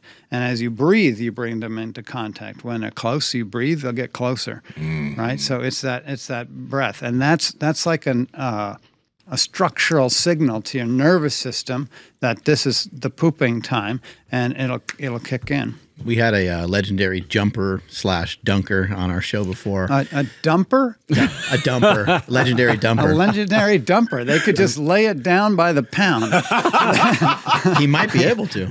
Maybe. Yeah. Could So did I hear that wrong, Mark? Or were you Du- sa- dunker. Dunker. Dunk, He's like dunking dunk- basketball. Oh, basketballs, cool, yeah. cool, yeah. and uh, he talked about eating in a position where um, he would eat with uh, seated on seated on the floor with his uh, knee kind of pressed against his stomach, so they didn't Okay. eat too much. It was like uh, Oh. natural, like in his culture where they would do that. Okay.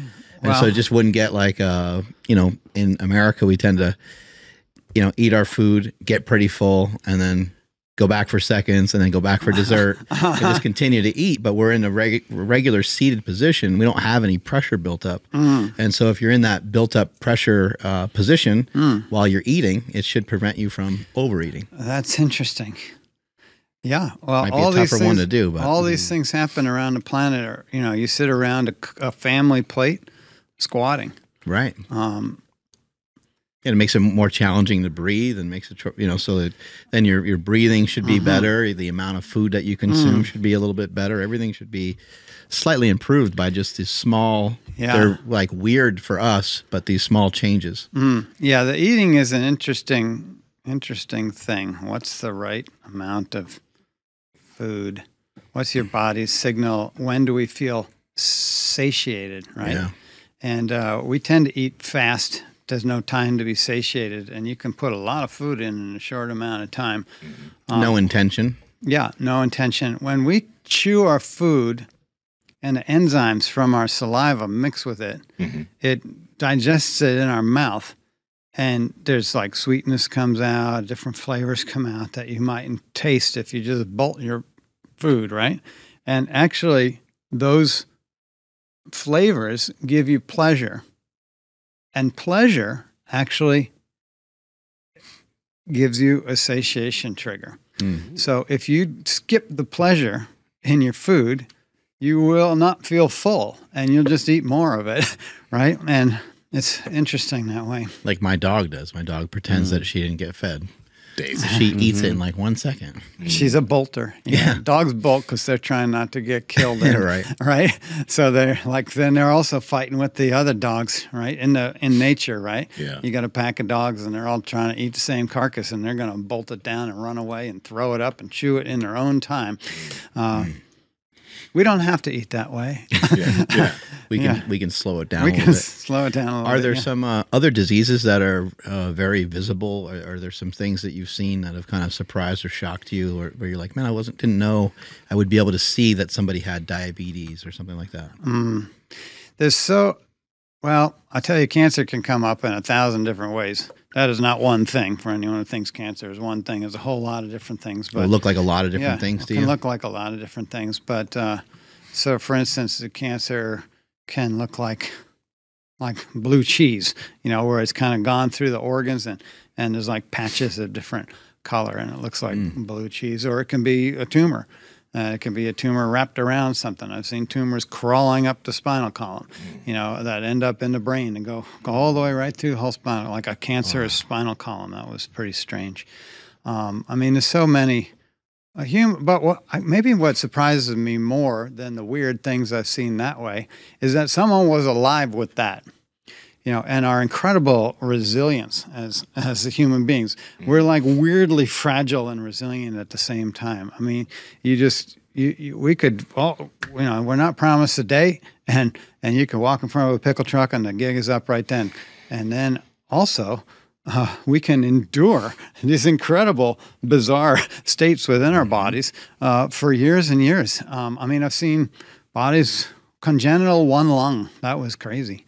Like this lady had never had a lung on the one side. She was just a one lung person. We So- had a woman on the show that had one lung, right? She was like a MMA fighter, wow. right? That's Um, amazing. Long ass time Uh, ago. Um, I think she was friends with uh, Gabrielle Lyon, but Hmm. yeah, and, and what happened was is her one lung sort of took over. The one lung became kilo killer. Gilbert or something. Her, the one, the one uh, lung became like almost as big as two lungs. Wow. Well, that's and uh, that's uh, that's adaptation, right? And we're good at it. This other version of it, I saw the person's liver just migrated into where the lung was. So she had a lung on one side and a liver on the other side. Instead of the liver being down here, the liver was here. It went all the way up. Did the Up body look fairly normal? She was 90 something years old. Oh, wow. Yeah, she was a trooper.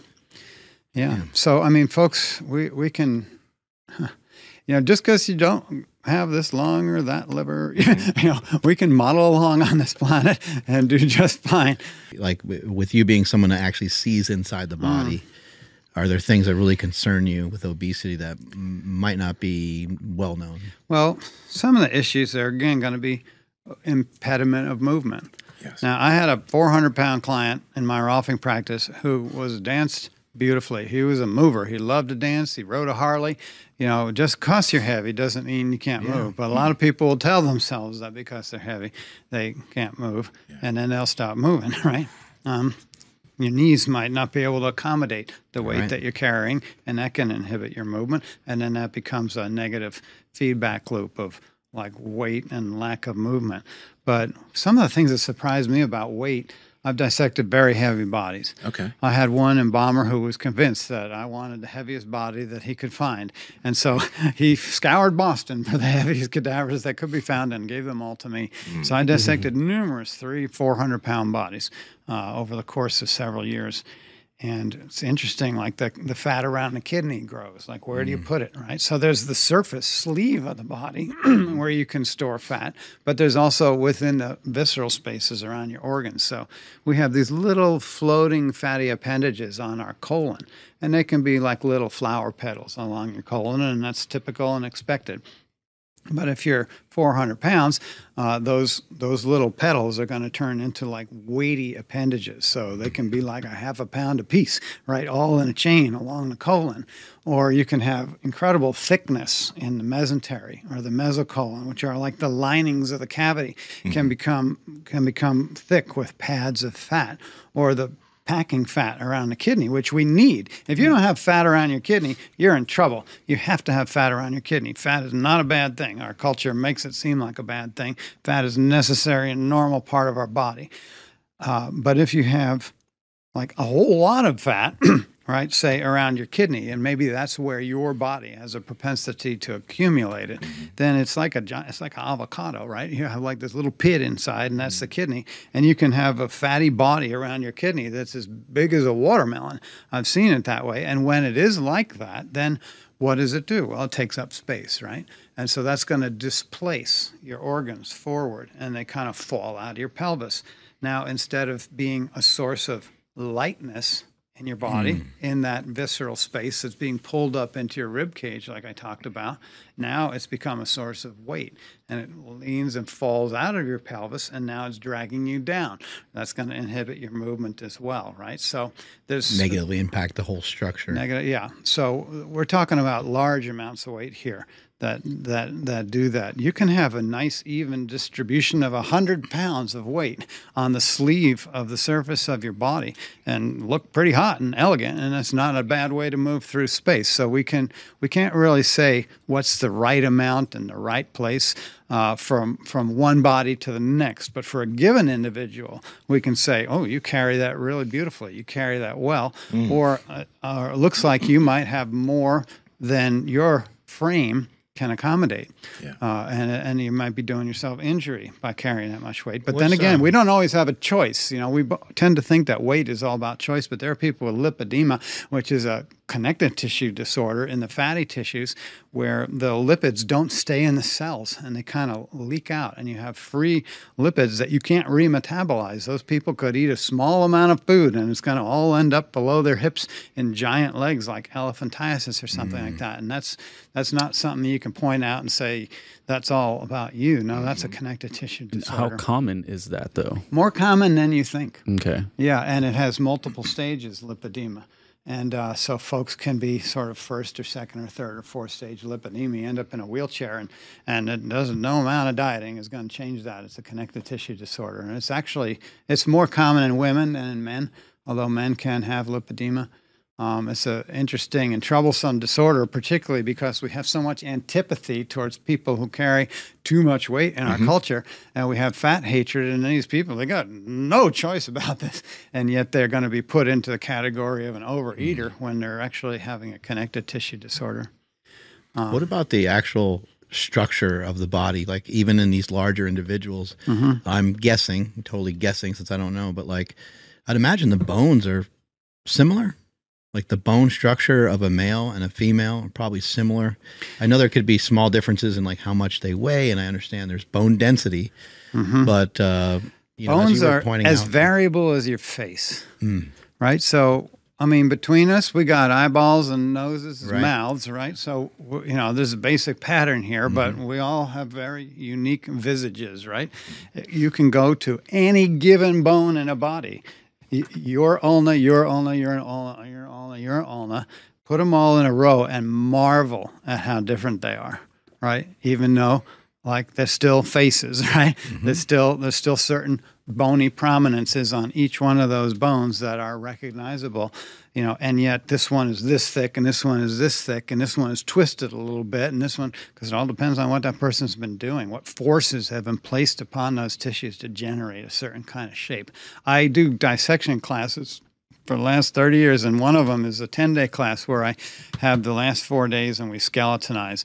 So I have the groups, we take off all the tissues of the body except for the ligaments, so it all holds together, right? And we sort of suspend them by the shoulders and we put four. Four bodies side by side, so that we started from scratch, from the skin, mm-hmm. brought them all the way through, get down to the skeleton, and we just stand there with our jaws hanging open at the beautiful differences in the skeleton mm. and the continuity from one to the next one. So we tend to think of the f- female pelvis, right, as more of a flared thing, right? Satis- mm-hmm. It's able to carry a child, and maybe the male pelvis is more organized this way. But when you actually look at pelvises, those are tendencies, and you can see little old ladies who are 90 years old with a very uh, upright kind of pelvis and not flared, and vice versa. And so we put them one in a row, and we just compare literally bone by bone, and they're different every one from body to body and from side to side, because not even from side to side on your own body are they the same. Maybe you're a tennis player, maybe maybe you did some behavior that changed the bony morphology even, because we can't change our bones. What do you notice about like maybe the density? Because I remember we were talking in the gym, like you've seen some people with bones you could literally stick something through. So Uh, Yeah, well, density- osteoporosis is a serious, a serious problem because you can get super fragile uh, in your bones. Uh, we know that's an issue in our culture. I have a friend, uh, Rebekah Rotstein. She's got a business called Buff Bones, where she, her whole thing is all about facilitating, helping people with osteoporosis through functional movement, using their bodies in a way that creates stress through those tissues. But you got to be careful at a certain stage of osteoporosis. You're going to break if you do certain things, right? You have to you have to be a little careful. But in the lab, it's so easy to see. I mean, you can knock on it with your hands, or you can bat on it with a, a scalpel handle, or in some bodies, I can literally, as you mentioned, I can pass the scalpel in into the bone. There's no resistance because the outer surface of it, that hard outer core of the bone, has become like a sponge. Um, and those and those bodies break easily. You know, even when you're turning them in the lab, they'll break. You know, and when you got into that stage, that's a troublesome way to live. And uh, you know, uh, and um, you know, we can see little fragile people, and, and they're really at tremendous risk from a fall or something. You know, Yeah. pelvis shatters, and, and there's no putting that Humpty Dumpty back together mm-hmm. again. Do you notice the difference in the thickness of like tendons too, of like individuals who resistance train versus maybe people? I mean, I know you don't always know the history, Yeah. but like re- resistance training is getting more popular amongst older populations because mm. they're realizing it can improve your bone density, it can improve the resilience of your tissues. It would be so satisfying to have a ton more information Yeah. on the bodies that I work with. You know, Okay. we have a funny thing about anonymity in our culture of donation. I don't think it's necessarily to the advantage of our education. I don't think any harm really comes from knowing who the donor is. The project that I just did, that I'm touring around the country right now, the donor was a friend. You know, I actually knew this this man. He was my my my friend's dad, and he had spent visited our home many times. And this is a friend of the family, right? Mm-hmm. Uh, and he donated his body for the project, and and so we knew a lot about that body. Mm-hmm. Is all I'm saying to your point. And and but most of the time I know nothing, and I'm just trying to put the pieces together. It would be interesting to have more information. But even then, I'll tell mm-hmm. you, there was one program that I used for many years, and I would get a sheet of paper with the handwriting of the donor with a page of their medical history that they would write out for us, which was super interesting and often wrong, mm. right? Because you know, you go to the doctors, they say something, it's fancy words, you don't know what they said, mm-hmm. right? And then you then you start to tell a story about what happened to you or what they did in your surgery, and it's not the it's not actually what happened, you know. And then you write that down for me, and I'm like, you didn't have that taken out, it's right here. You had something else done, you know what I'm saying? So they that people don't even know what happened to them oftentimes. Mm. So you know, we're we're not we're not always the own best stewards of information about our body. Mm-hmm. Mm.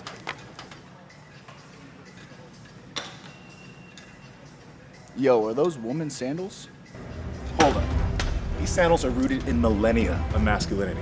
Pretty much all the ancient Greek warriors wore them. Also, the ancient Aztec warriors used to wear them into battle. They're called cacti. The Zulu warriors would march hundreds of miles in them. And so did the Romans. They conquered a bit of land themselves. That's great to know. Is that the new Victoria's Secret drop?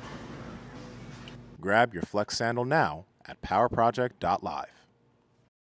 What is so amazing about foreskin? Oh my God! How many hours does this podcast go for? Hopefully, at least a little bit more. Mine's, mine's gone, man.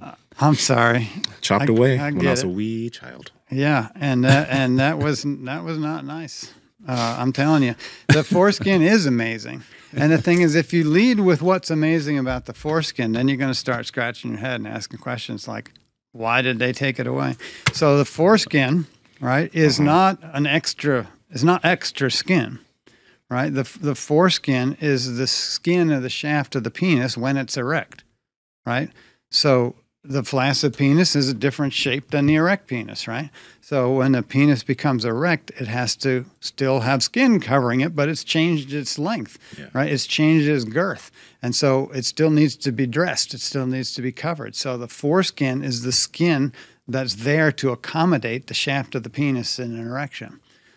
So now, if you have an intact penis, is what I like to call it, an intact, un, undissected penis, um, then also there'll be play, right, in the skin because you have enough for the erection and then some. So the shaft of the penis is designed to move in and out of itself, right? And the skin, uh, because it's a little loose, even in erect penis, will move back and forth over the glans. And that feels good. And that foreskin is, is the most erogenous part of the organ. It's the sexiest, most nerve filled. so fucking mad. it's the, it's the nerve filled part of the organ. And what it does is it gets a little slippery down there at the end, right? Because you have that viscous substance that comes out of the comes out of the glans, right? It's- and it's kind of clear and, and slippery. And that's to lubricate the movement of the foreskin over the glans, which makes it feel even better, right? Now you take that whole unit and you put it in something else, a hole in the wall, a good friend, someone you love, right? And and you're fucking going glory all over here, really, you said you said we could talk about Yeah, stuff. did. man. That's amazing, So the we way- talk a sock puppet, whatever you got. Lots of crusty socks, bro. a oh, hand with a velvet glove. I don't Take care it what, wherever you can. I don't care what you got, right? And then what you're going to do is you're going to facilitate the movement of that skin over the glans, and eventually you're going to reach a point where the the electromagnetics of that reaches a point where you ejaculate, right? So, so if you put that in another place, right, then that place that you put it is protected. Wow. There's no abrasion, right? You have, uh, say you're in a vagina, for instance, right? Now, a vagina has a different design, right? It has kind of a circumferential erectile tissue that expands like a like a filling donut, mm-hmm. right? And then as that donut fills, then that aperture gets tighter, right? And it squeezes on whatever might be inside of it. So the vagina pins, right? It pins the skin, the foreskin, to the shaft of the penis, which is moving in and out of itself, Yo. right? The penis is not supposed to be abrading the vagina, right? Mm-hmm. So if you follow that design, then the vagina is enjoying pressure, right? The whole vulva enjoys pressure. That's the kind of way those nerves are set up. The pressure of one pubic bone pressing against the clitoris and all that, right? You have a pressure system that's pleasurable. And then it's not the pleasure doesn't come from rubbing your penis off on a vagina for the vagina partner right? That's just abrasion and irritation. Mm-hmm. It's de- it's injuring the delicate epithelial walls of the vagina. That's not the design. The design is that you move in and out of your own skin while your partner enjoys the pressure of that movement exchange, right? They get off on the pressure, you get off on the friction of yourself to yourself, right? And then the whole party is is nice. Now, what happens if you there's more, but but wait, folks, there's more, right? So the the because the the glans of the penis are normally covered in that skin. It's protected. It's an aperture. It's an opening in your body, and all the apertures of our body are protected, mm-hmm. right? We got eyelids. We don't, you know, we, we Snip get the off. Sandman. You don't cut the mm-hmm. eyelid off, right? It'll dry it out. Yeah. Right. So what happens to the glans when you take away the foreskin? Dry. it gets dried out. It gets sclerified. If you look at it under a microscope and cross section, have 20 extra layers of, of squamous epithelium dried out there. It's a callus. It's like the butt of your hand instead of the inside of your lip. Mm-hmm. Right? That's the design. It's like the inside of your lip and it's protected and covered, right? And as the skin right? Because this is skin that goes two ways, right? You pull it back and you see skin, you pull it forward. So there's an inner layer of skin surrounding the glans. And that skin, like all the skin of our body, sloughs off, right? So how does it slough off? It's like apoptosis, is little enzymes that like explode the cell and it sloughs off. So those enzymes uh, in the normal structure slough off and they have an antibacterial property because if they could kill your cells, they'll kill bacterial cells too. So that's your immune system, right? That foreskin is your immune system for that part of your body. It's a mechanical protection of the opening, right? It's also creating the right moisture environment and it's sloughing off skin that we call it smegma, which is a Greek word for soap, hmm. right? And that's not a bad thing. That has en- enzymes in it that have antibacterial properties. You don't hmm. want it to build up too much, right? Because it can get then it gets sticky and the skin can stick to itself and you get adhesions, right? So you clean yourself, but still it belongs there. That stuff and the, and the, the the vulva also has smegma, and you, you, we can take a bath, right? We can wash our face, we can wash our intimate parts. So we have that foreskin as the immune system of the penis. It's also the er- most erogenous aspect of the penis. It's also the protection of the partner in in terms of the movement and the friction, and it's also stimulating, right? Uh, so this is all good stuff, right? Yeah. This is all good stuff. Now, what happens if we take that away? Okay, so if you take that away, and they take it away in a serious amount. Yeah, they did. Now they actually protracted, right, in order to get more. Like more is better somehow in this case, and it is if you're going to sell it, because they do upsell that foreskin, These motherfuckers. right? Because they're going to sell it into the biologicals companies who are going to, and they're going to call. You can look it up online. They're going to call it um, uh, neo uh, neonatal uh, dermal fibroblasts. Which That's- is soup for rich people. That's- I fucking knew it. Some billionaire out there fucking ate my It's- foreskin in his soup. it's worse than that. It's hand cream for for facials is what it is, and it's not that kind of facial. It's the other kind of facial. So Type in facials, Andy. Okay. don't type in facials. So so what they do is they they take those cells and they and they multiply them in in the laboratory, and then they sell them to uh, you know companies, and and they use them for product. Right, and you pay for it. So you pay for the surgery, mm-hmm. which you've been told is useful or purposeful, and and then and then you pay for the disposal of the tissue, and the disposal of the tissue fee means you're paying them to sell the tissue, right? And you signed away for it on that consent form that somebody handed you. It's a whole fucking business. It's, this is it's a fucked. huge. Yeah, This is out a way. possibility. I'm It's the most out common surgery in America is harvesting that skin and giving it to somebody else. So, and what is the effect in terms of sex function is to take away pleasure. Okay, because that's the most erogenous part of the organ, and you just took it away. And that was why it was done in this country. Mm, It was done in this country as part of the Great Awakening, and the Protestant moralizers wandered around this country having tent meetings. You can read about it in uh, Tom Sawyer, and the whole town got religion, right? So you you have those those tent meetings, and they preach circumcision Yeah. as a cure for the moral ills of lust and masturbation. Right now, fellas, did you stop masturbating? once No. no. So, so it didn't work. It was it was false, but it did change the sex dynamic. Okay, so someone like that crazy man Kellogg back in the day. Have you talked about old Mr. Kellogg? Please talk about Mr. Kellogg. Well, Mr. Kellogg was was as much of a nutcase as ever was, and it's not because he was the genius behind cornflakes. It's because he was as anti-sex a Victorian as ever was born. Uh, he he never had sex in his life, except he did get an enema from his male servant on a daily. So I don't know what that was all about, but he he had adopted children because he he was so so anti-sex that he never had sex with his wife. Wow. Uh, but he didn't take it up the ass on a daily with yogurt and coffee and anything else he could put up there. Probably Gumby and gerbils and God knows what else made it up there. So anyway, he he um so he he advocated putting like little spiky underwear on small boys and and cauterizing the clitoris. Right? He, Oh, yeah, what? Cauterize the clitoris, right? This was recommended. All he had to do was just come out, and it would have been fine. It would have saved so much trouble, right? But he was part of a general movement. The doctors were on board. Everybody was on board with mm. this. So circumcision was introduced in this country for the specific purpose of reducing sexual pleasure. Right? to change the dynamics of sex, take that away from us, right?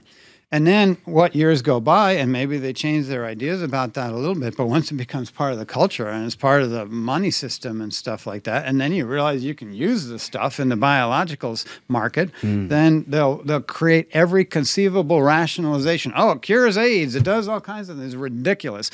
Every year there'll be one or two articles come out in the New York Times telling you how glorious and wonderful is circumcision. I read an article from the CBS News that was online on their website. This was some years ago, and it was basically being this it was being sad about how people don't do circumcision anymore. It's as if they don't like vaccination or oh something. oh my you know, God. they literally tried to tie hmm. circumcision to vaccination because this is hmm. clearly a pro- powerful prophylactic for health for boys. It's not. That's garbage. It's a, to think about it this way: you take away the skin, now it's tight right? You get an erection, you don't have enough skin to accommodate the erectile tissue. You end up with a bent stiffy, right? It doesn't look quite the hmm. same anymore because it doesn't. And where does it get the skin from to cover itself? It's got to recruit it from the pubic area. So now you got hair halfway up the shaft of your penis. And now you're putting that in your partner. That's not hygienic to be filling your partner with your hair. It wasn't designed that way. The penis shaft is not a hairy thing. The, the, the, the pubis area is hairy, but if, if the skin uh, that you're putting, that, that's not hygienic, number one. It's also not hygienic to dry out the glans. They get cracked and sore, and you can have uh, bacteria get into it because it's no longer protected by the substance your body produces that's an antibacterial to protect that opening. And you're abrading your partner and putting that partner at risk, right, because of micro abrasions inside of their body of other uh, inf- infections. So all of these are not in service of, of health. Uh, at all. And the fuck thing is, like, some parents maybe think that they're doing it out of love for their child because it's in the Bible, right? Like, uh, like so a lot of like I'm Christian, I was circumcised, and it's in the Bible. Okay, let's it's talk like- about that Bible bit. Let's go. Okay, so it's in the Bible, but what part of the Bible? It's in Old Testament. It was the covenant between uh, Abraham and and uh, Abraham's God, right? So that all seems fine. They made an agreement, and this is what it looks like, and you're going to be my people, and this is how we're going to know you're my people. He had just about to execute Isaac, his son, but the a- angel of the Lord stayed his hand, and a goat showed up, and he sacrificed that instead. And let's call circumcision at that point in history an improvement on child sacrifice. How about that? How about they came into the land of Cana and they saw them doing child sacrifice, and uh, from an anthropological perspective, well, let's not kill the boys. Let's just take a little bit of their skin, right? That'll be better, right? So, so then you do that. But how much skin did they take? Just, just a little bit. They didn't. They, the process that you endured as an American in this country is very different than what the Abrahamic tradition did at that time mm, and place, right? They they they made the mark of circumcision. So there was the exposure of the tip of the glans. They didn't protract the skin forward and cut off half the skin of the shaft of the penis. Right? No, they just took off the end of it, and this little bit of exposure became the sign that you were part of the covenant. Mm-hmm. Well, all well and good. We can do whatever we want. It's a free will universe, right? Now, what they're doing to us in America today is the stripping of the glans. It's a different process where you protract the skin forward of that infant, you clamp it, you put a cigar snipper on it, and you cut that skin off in the majority. You take that and sell it upline, and you tell everybody you did a favor to that person. You didn't do a favor to that person, you just robbed them of the sex mechanics for the rest of their life. Now, as surely as they invented circumcision, they also invented restoration. Uh, how long is the restoration? Like, wh- is there too late to get restoration? It's never too late. Whoa. It's never too late. Okay, I've been working on restoring my foreskin. I don't. I'm not urgent about it. You know what I'm saying? I'm running around all the time. It. it so when you, it depends on the level of cut, what it takes to restore your foreskin, right? Because not everybody's been cut the same way. So you can look at someone at a gym and you're like, oh, is he circumcised or not? I'm really not so sure. You know. So I, I, I never. I didn't know what I was looking at. I was. I was at the at the Tur- Turkish baths in New York City at a at a stag party, right? And we're all sitting around uh, having a steam room, and the guys on the other side were these or- Orthodox men, Yeah. and they're sitting there, mm-hmm. and I'm looking across through the steamy haze, staring at their junk, and I'm saying, like, they what do they got over there? Because they got more foreskin than any of us. Right? And they had been circumcised by a mohel in the t- pattern of their tradition, and, and the the foreskin. Did you get was, in conversation with these guys? no, no, no. I just stared rudely. Hey, uh, I have a question. this is going to sound weird, but you can trust me. I cut bodies open for a living. I mean, uh, Everything's cool, and I am staring at your dick. you just have amazing foreskin. If I couldn't were- help it. It's, it's if you're like having a chat over there, like is he staring at my dick? I'm like, yes, I am. Not shy here. So uh, what I noticed was that the skin was over the corona of the glans, right, and just the tip of the glans was exposed. And I look at us, and we got the whole corona. So where? What are the stages that could be done? So that will be one. Say, let's call that stage one cut, mm-hmm. right, where just the tip of the glans is exposed, but the skin gathers up over the corona of the glans and covers most of it. Stage one cut. Stage stage two would be where the skin bunches up to the glans, but doesn't quite get over the mm-hmm. corona doesn't quite cover any of the glans. That would be stage two. Let's say stage three is where you have some wrinkling, right, in in the skin of the shaft of the penis when it's flaccid, but it doesn't actually bunch up to the corona at all. And then say stage four cut would be where in flaccid, normal temperature hang length, you're, there's no bunching at all. It's it's it there's no um, there's no wrinkling of the skin at all, right? And then say stage five is when you've actually had other parts of your penis injured through the procedure. So where that scar snipper snipper slipped and cut off half of the glans, and that happens every day in America, folks. This is not this is not impossible, right? This is must part. cause some sort of trauma. It can cause death. Oh, yeah, people can die. They, they, they'll do sex changes based on the accidents that happen in circumcision in our culture. I'm not saying it, it's happening, you know, 100,000 times a day. I'm saying this is part of the risk. Circumcision is not without risk. And people are rudely surprised when it goes wrong, right? And you deglove the penis, that can kill you. Right, Where like, oops, we took it all. Right, so that can the degloving injuries can you die from that. You get sepsis and you die right? So, uh, so you can think about what I just said in terms of the scale and say, well, how much was took from me, right? What what have I got left, and then where can I start? But uh, so if you have skin already over the over the corona of the glans, then there are devices, stretching devices. Even if you have it wrinkled up to the glans, you can pull the skin over that stretching device and wear that device and it'll hands-free stretch you mm-hmm. while you go about your mm-hmm. business mm-hmm. right? Now hmm. if you have a stage four cut which is what i started with where I there's no I wrinkling no four, nothing if you have an erection that's tight and you kind of like mm, kinda way, right? it's like strained right? And what is that? That's an abrasion stick you got there right? And and you should take responsibility for it before Sorry, you, Sam. ru- before you rub up, rub some friend down to, to to give them a rug burn inside their body, right?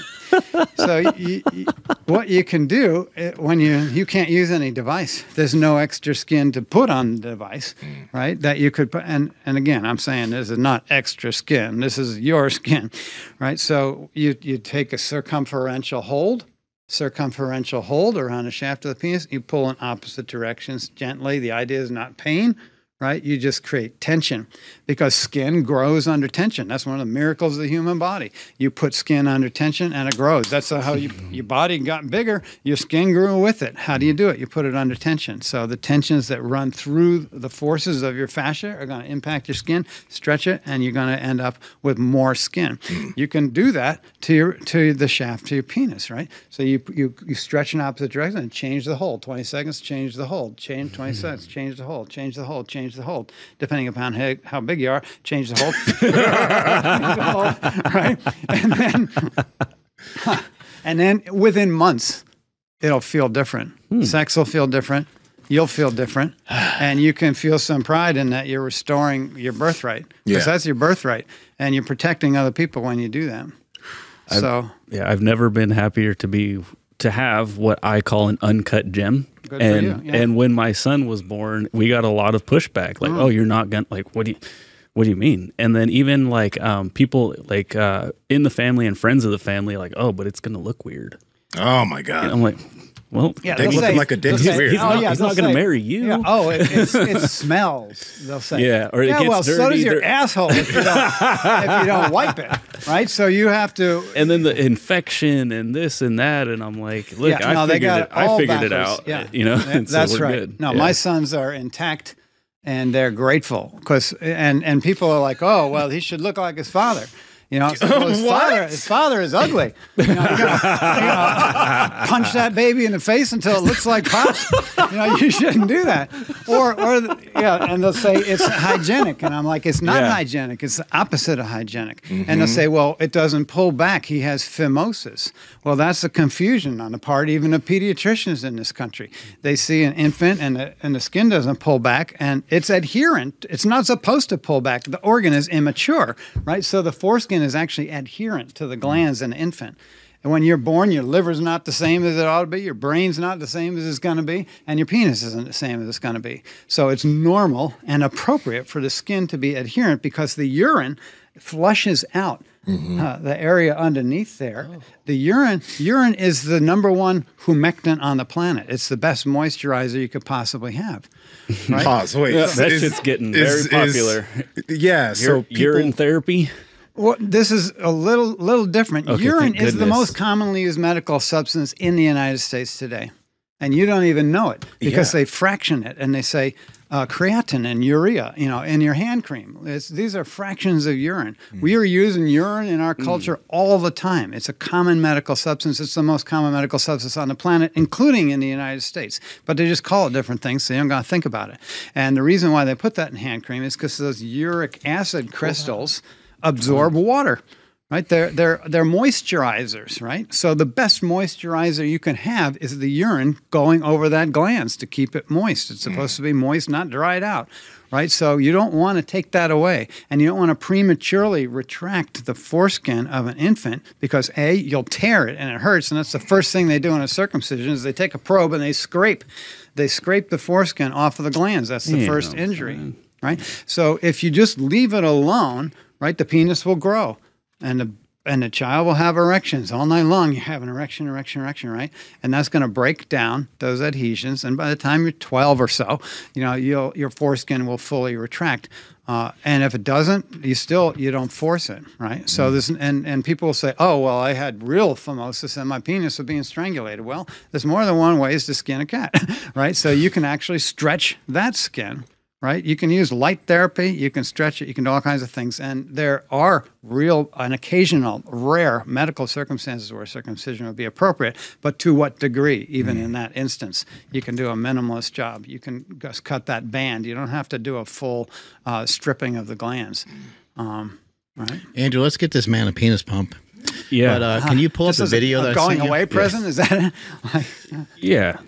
A video? pull up that. of- I sent you a video. Uh, it's just it's from. Uh, oh, penis like- pump video? It's Are we going to get to watch a it's a pump? how-to. Yeah. A how-to? I want This to is see a this. quick aside. We're gonna get to this video before you play it. Yeah, yeah. When you were talking about stretching, uh, the foreskin, it reminded me of college soccer. We had a guy.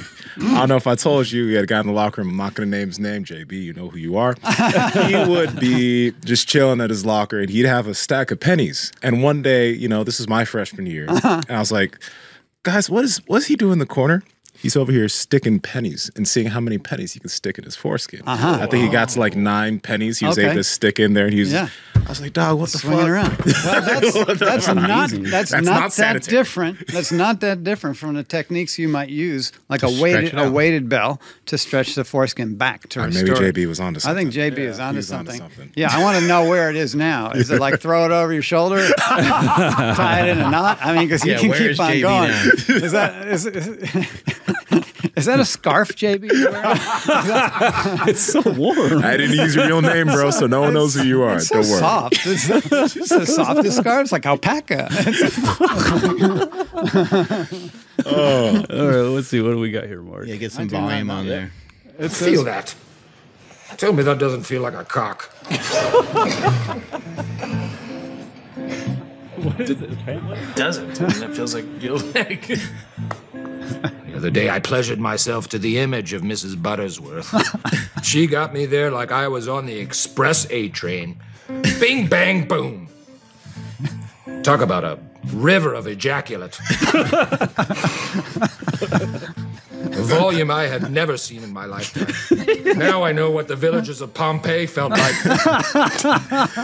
So this was going through my head as you were saying certain things.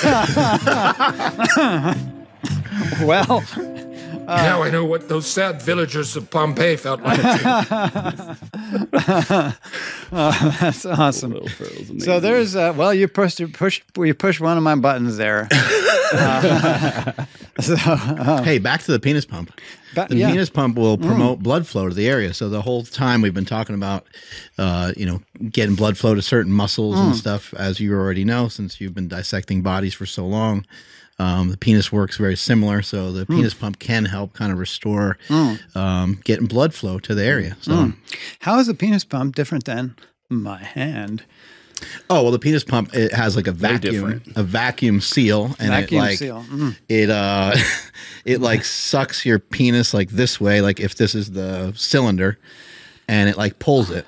I'm all for any form Yeah. of penis sucking. and it gets more blood flow to the area. The thing is, people, uh, you know, people always are uh, thinking about like, oh, it's going to like increase the size or Mm. increase the length, and it can because it can promote promote more blood flow to the area. But it's Mm. not like you're going to be two inches bigger than what you had previously. Mhm. You know what I mean? So- Yeah, but you're you'll be circulating well. and yeah, it'll be functioning better, which Mm. is the key. Penises are super interesting to dissect as well. Oh, okay. Right, because of that blood flow is very interesting. Penises are like, uh, well, it's erectile tissue, which basically means spongy fascia, right? So it's spongy fascia that fills with blood.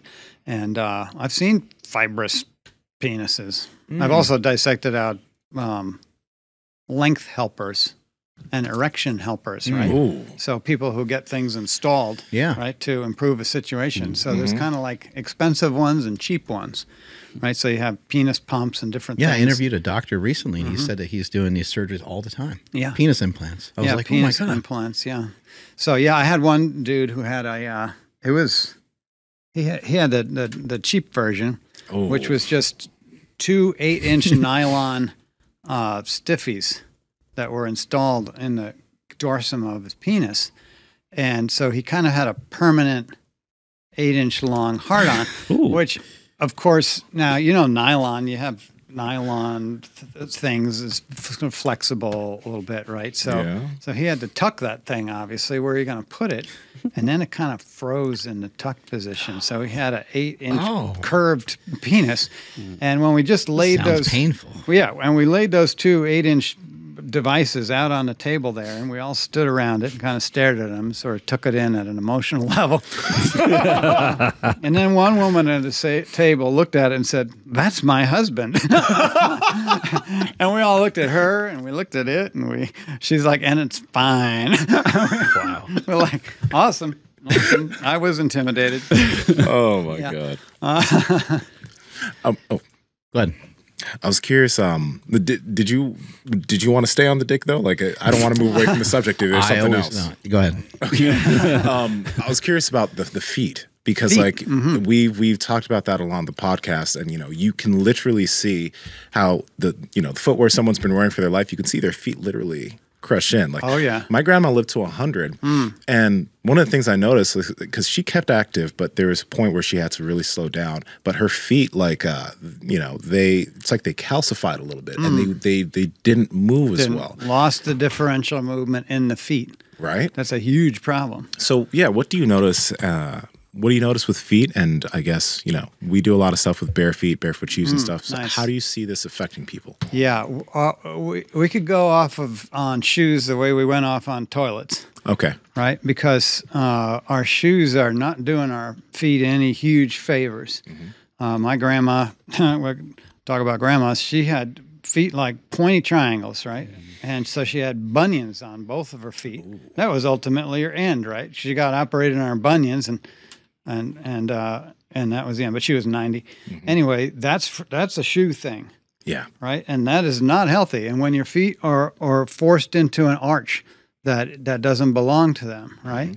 And and then and you're not having differential movement. You need to. The foot is like a diaphragm that's pumping your lymphatics. It's pumping your blood. Uh, it's it's a it's a pump, pump uh, helping to improve your circulation, right? Yeah.